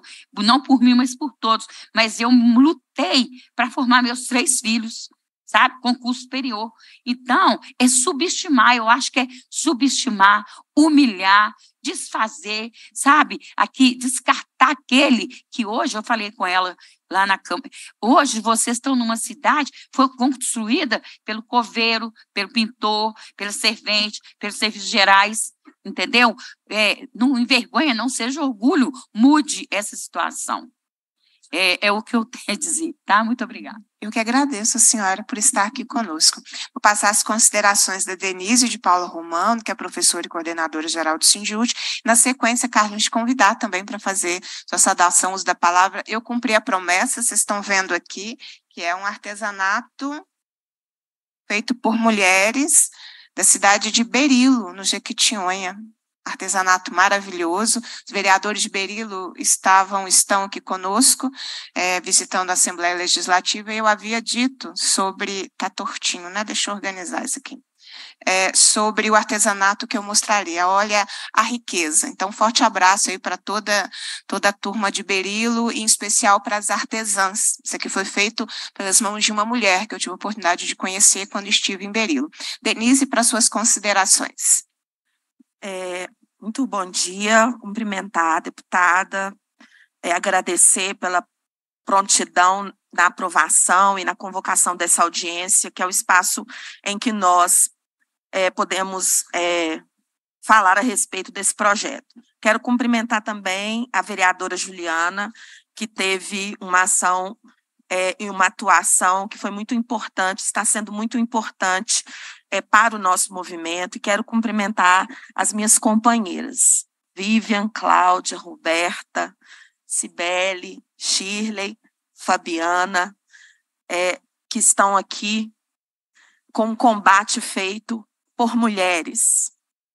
E eu quero começar, e vou ser bem rápida nas minhas considerações.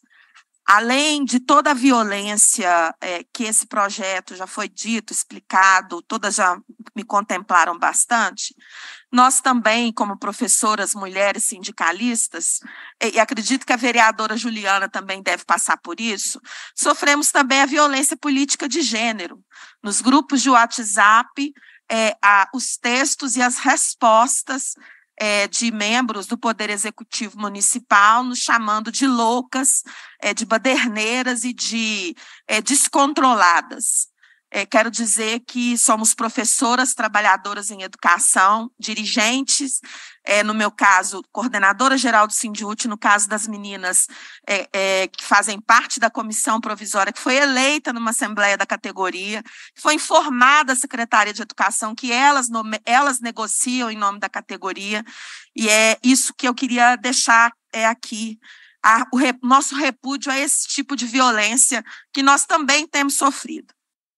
É, projeto de PPP, ontem eu estava no programa de rádio do Sindiúte, é, e a gente estava conversando sobre PPP e Copa do Mundo. É, e aí é PPP, é o povo que paga o privado. É isso que é a PPP. E nós fizemos muita luta no município de Nova Lima para combater a aprovação é, dessa, desse, desse projeto da forma como foi explicitado aqui por todas as minhas companheiras. Nós procuramos, sim, a Câmara Municipal, procuramos a presidência da Comissão de Educação, reunimos com a presidenta da Comissão de Educação no dia 24 de outubro, solicitamos a realização de uma audiência pública na Comissão de Educação.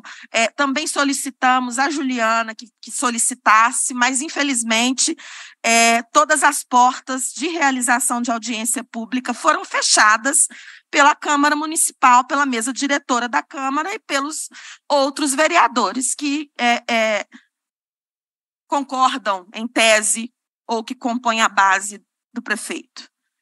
O que nós é, temos feito nesse, nesses dias? Carro de som, faixa, foram todas recolhidas, viu, gente? As faixas do sindicato foram todas recolhidas no dia que foram instaladas. É, carro de som explicando às pessoas do que se trata a PPP. E nós viemos aqui hoje não só para denunciar, mas nós, nós viemos aqui hoje para apelar ao bom senso, da Câmara Municipal de Nova Lima. Nós só queremos o debate. Nós queremos é, explicações, porque não é cheque em branco, pessoal, é um cheque preenchido. É um cheque preenchido com valor de 2 bilhões e 500 milhões de reais. Válido por 30 anos. Não é cheque em branco. O valor do cheque está preenchido.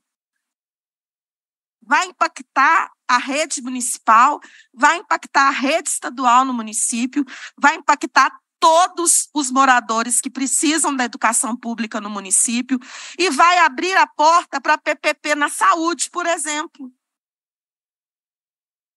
Então, é, a gente está fazendo uma luta que, além de ser uma luta corporativa, é uma luta em defesa da educação.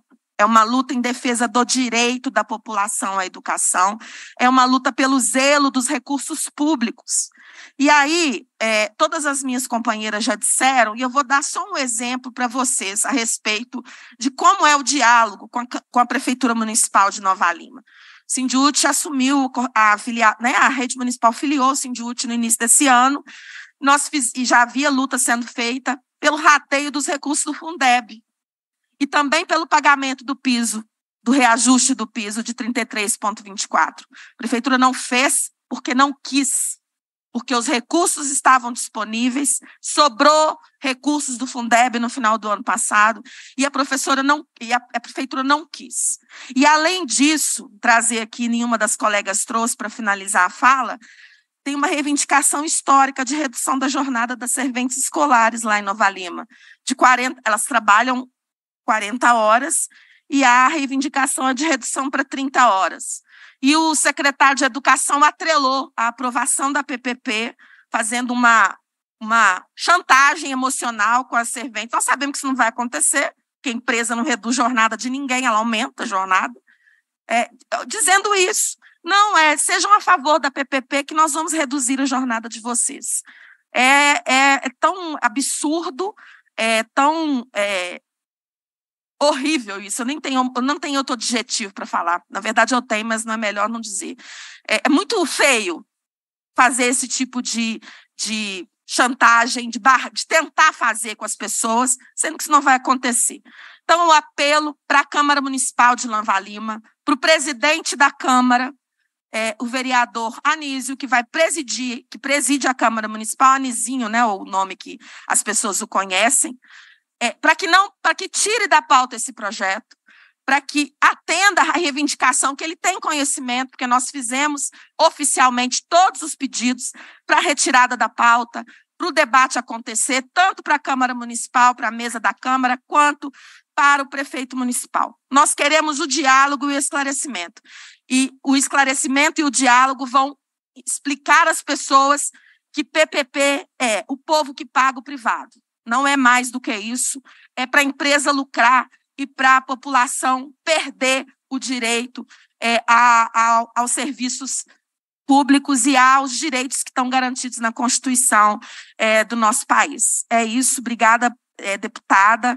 Nos vemos lá, pessoal de Nova Lima que está assistindo, é, às 18 horas na Câmara Municipal, nós estaremos lá, apesar da restrição, já tem até restrição de público lá, o único lugar, único, único setor público de Nova Lima que tem restrição para Covid 30% de ocupação, e o decreto saiu ontem, depois que foi é, da Câmara Municipal, saiu ontem, é, depois que nós tivemos acesso aí aos documentos e que o projeto seria pautado hoje. Mas nós estaremos lá da mesma forma, tentando sensibilizar os vereadores para que não aprovem essa excrescência que é esse projeto, que abram o debate, que realizem audiência pública e cumpram a sua função legislativa é, de representar a sociedade e não o Poder Executivo.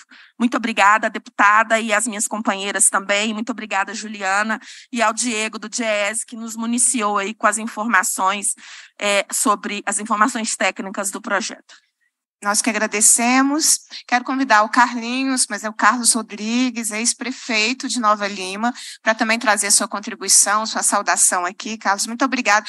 Vem aqui à mesa, nós vamos te dar aqui um, um assento à mesa. Enquanto o Carlos chega, eu quero justificar, a, quero registrar a justificativa de ausência que nós recebemos a vereadora Viviane Gomes de Matos, nos cumprimentando, é, diz que não pôde comparecer, em função, ah, ela recebeu o convite depois eu vou, vou certificar só o horário, porque ela está me dizendo, né, que chegou ao gabinete ontem no início da noite. Vamos só verificar o horário certinho.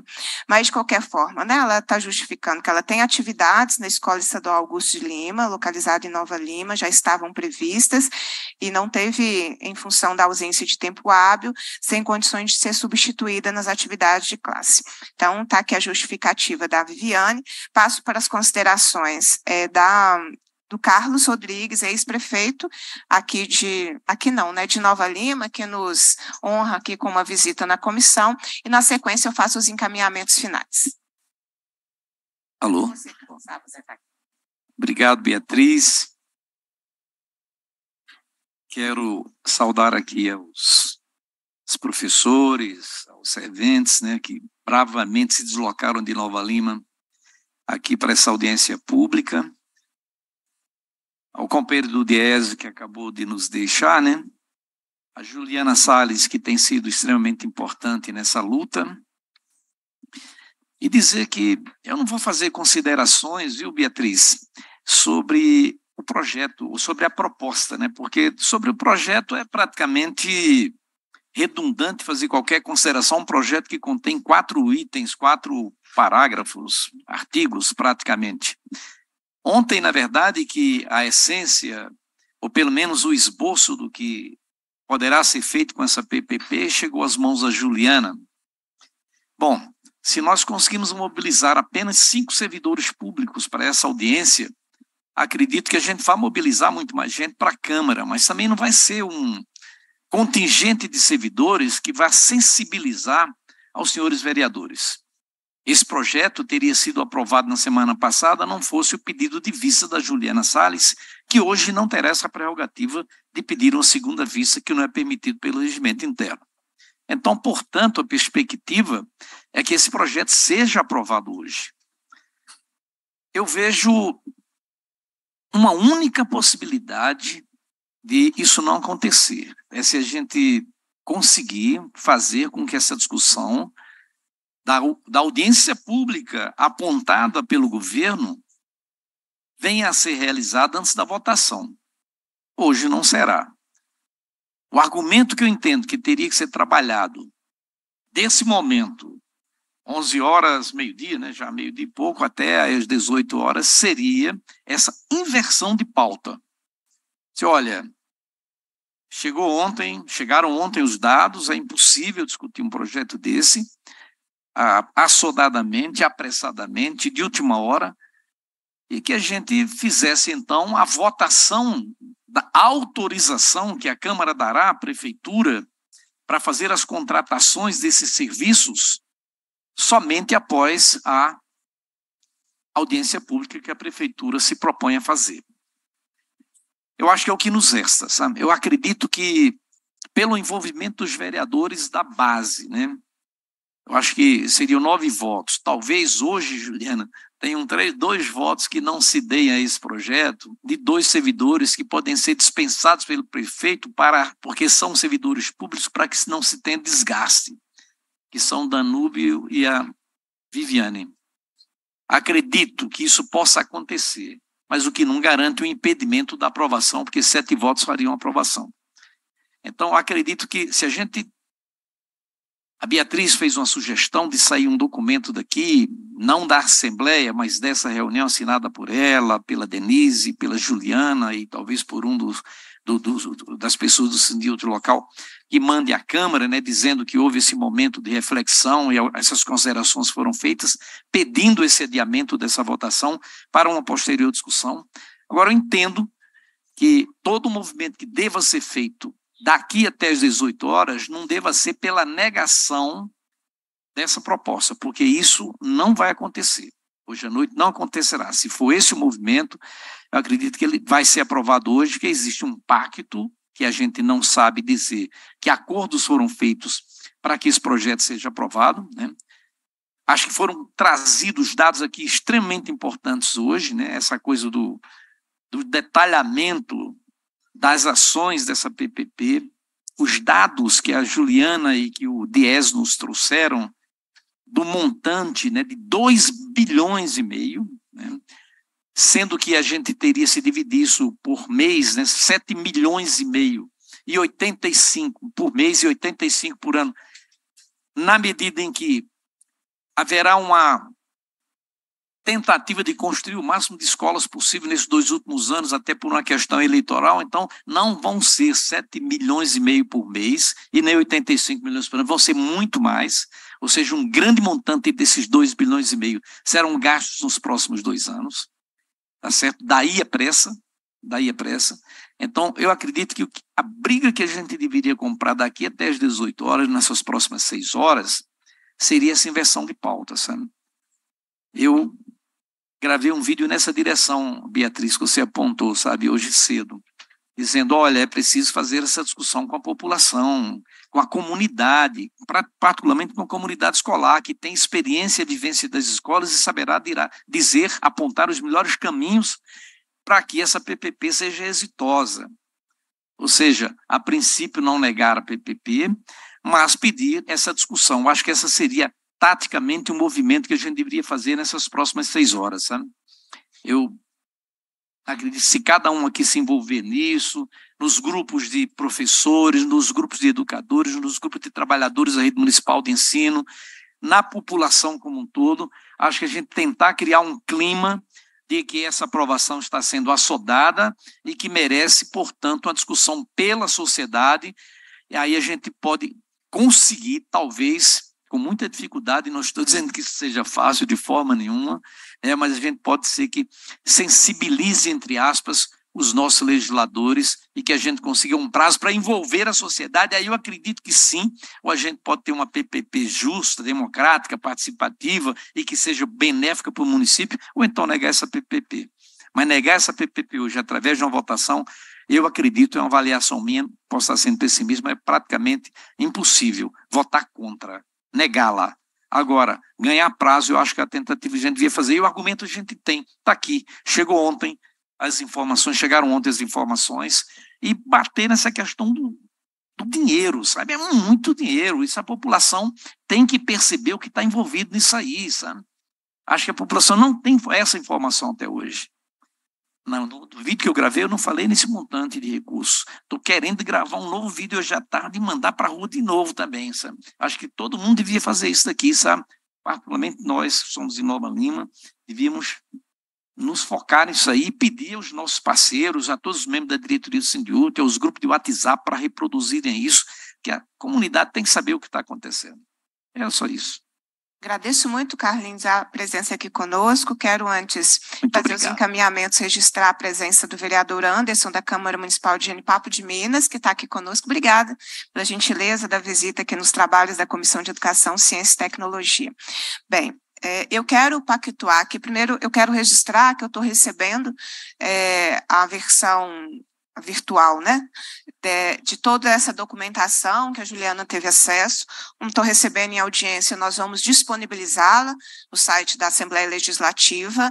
É, nesta audiência, né, como parte desta audiência, de forma que vai ter um local público, inclusive, de acesso a essas informações. Então, nós vamos encaminhar, assim como o estudo apresentado pelo DIEESE, né, durante a audiência, também ficará disponível para as pessoas que quiserem ter acesso a essa, a essa, a essa documentação. Eu não vou fazer nenhuma proposta de requerimento nessa audiência, mas eu vou fazer um pedido que eu vou formalizá-lo também ao presidente da Câmara Municipal, o vereador Anísio Clemente. Evidente que eu, como deputada, tenho a obrigação de respeitar cada Câmara Municipal na sua autonomia de trabalho. Não é? Então, é, resguardada e respeitada a atuação de cada, cada legislativo, porque a, a essência da democracia passa por termos né, cada legislativo atuando, mas eu quero é, fazer um, um pedido ao presidente da Câmara. E com esse pedido eu vou finalizar essa audiência. Nós estamos falando de um projeto para os próximos 30 anos, envolvendo mais de 2 bilhões de reais de recurso público. O próprio prefeito, na mensagem, ele diz o seguinte, na mensagem do projeto de lei que está na Câmara Municipal, né? Vale dizer isso é a mensagem do prefeito. Vale dizer que a autorização legislativa não se traduz na imediata formalização da parceria, mas tão somente em uma sinalização positiva de segurança jurídica pelo município aos futuros e possíveis investidores, o que não dispensará, por óbvio, todo o processo típico de modelagem econômica, jurídica e concorrência aberta. Ou seja, o próprio prefeito está dizendo da não urgência ele está dizendo, olha, não é imediato, não é? Então é uma sinalização de segurança jurídica para os procedimentos que a que a prefeitura quer adotar. Se não é urgente ou imediato, já, se não já está em curso é, a entrega das escolas de parte da gestão para a parceria público-privada, talvez valesse a pena, é, vereador Anísio, que é o presidente da Câmara Municipal, uma mediação. Às vezes cabe sempre ao legislativo uma mediação que nas relações de trabalho executivo com a categoria não conseguem fazer. Não é? É, então, eu quero terminar essa audiência fazendo esse apelo, para que a Câmara Municipal assuma para si essa responsabilidade da mediação. Se não tem essa urgência, assinado pelo próprio prefeito. Se há dúvidas, há dúvidas que não são esclarecidas porque a prefeitura não quer fazer debate antes da aprovação do projeto. Fica a vida de 500 serventes escolares, né? pessoal que me disse que esse é o número de cargos. Como é que fica a vida dessas serventes? Como é que fica a gestão? Tem muitas, muitas dúvidas de um diagnóstico e um estudo que foi apresentado muito perto da votação.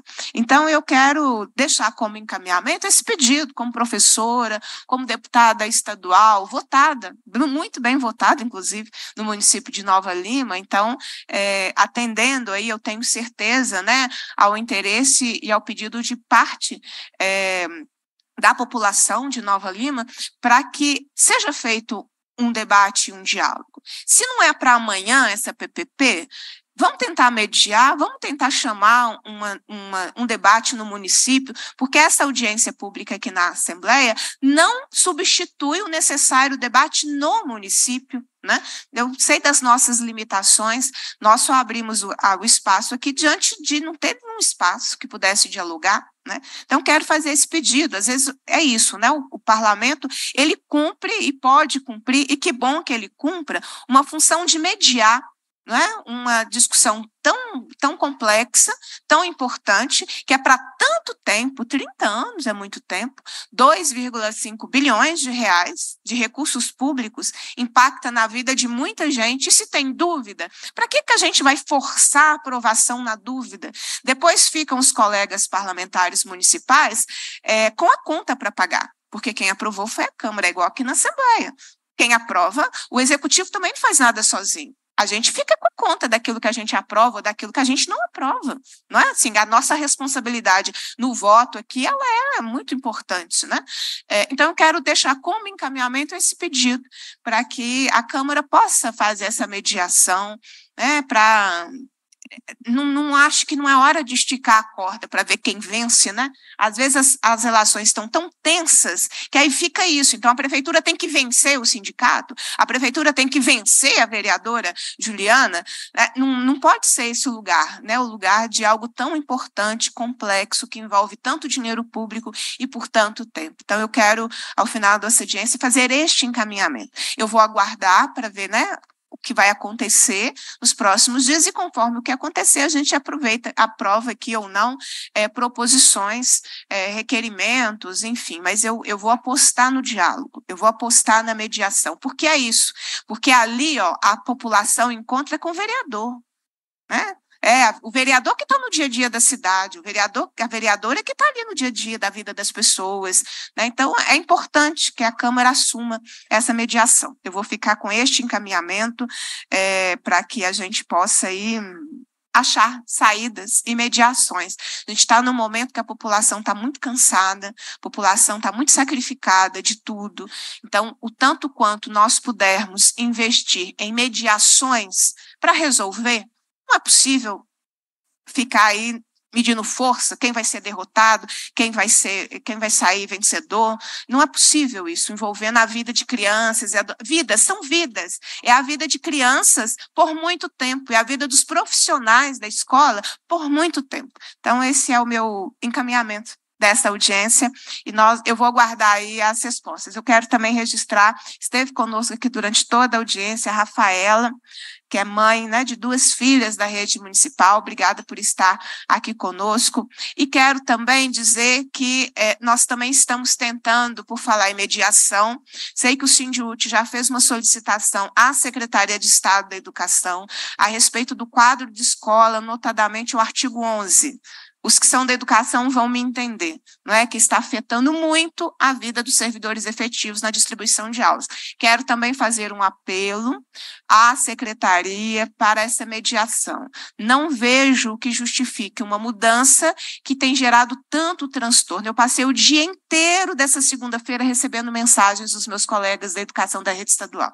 Vamos mediar, vamos resolver, né? Estou aqui com a disposição de agendar uma audiência pública para amanhã, para a gente discutir quadro de escola, é, caso não se reverta, porque eu acho que tem que resolver, né? A, como eu digo, a gente está ali no plenário, ali a gente faz os nossos enfrentamentos partidários, ideológicos, que é o lugar para isso. Mas quando a gente está aqui nas tarefas de comissão, a gente precisa ajudar a mediar para resolver a vida das pessoas. Para que, que a secretaria vai manter uma regra que está trazendo tanto prejuízo aos seus servidores? A categoria está exausta.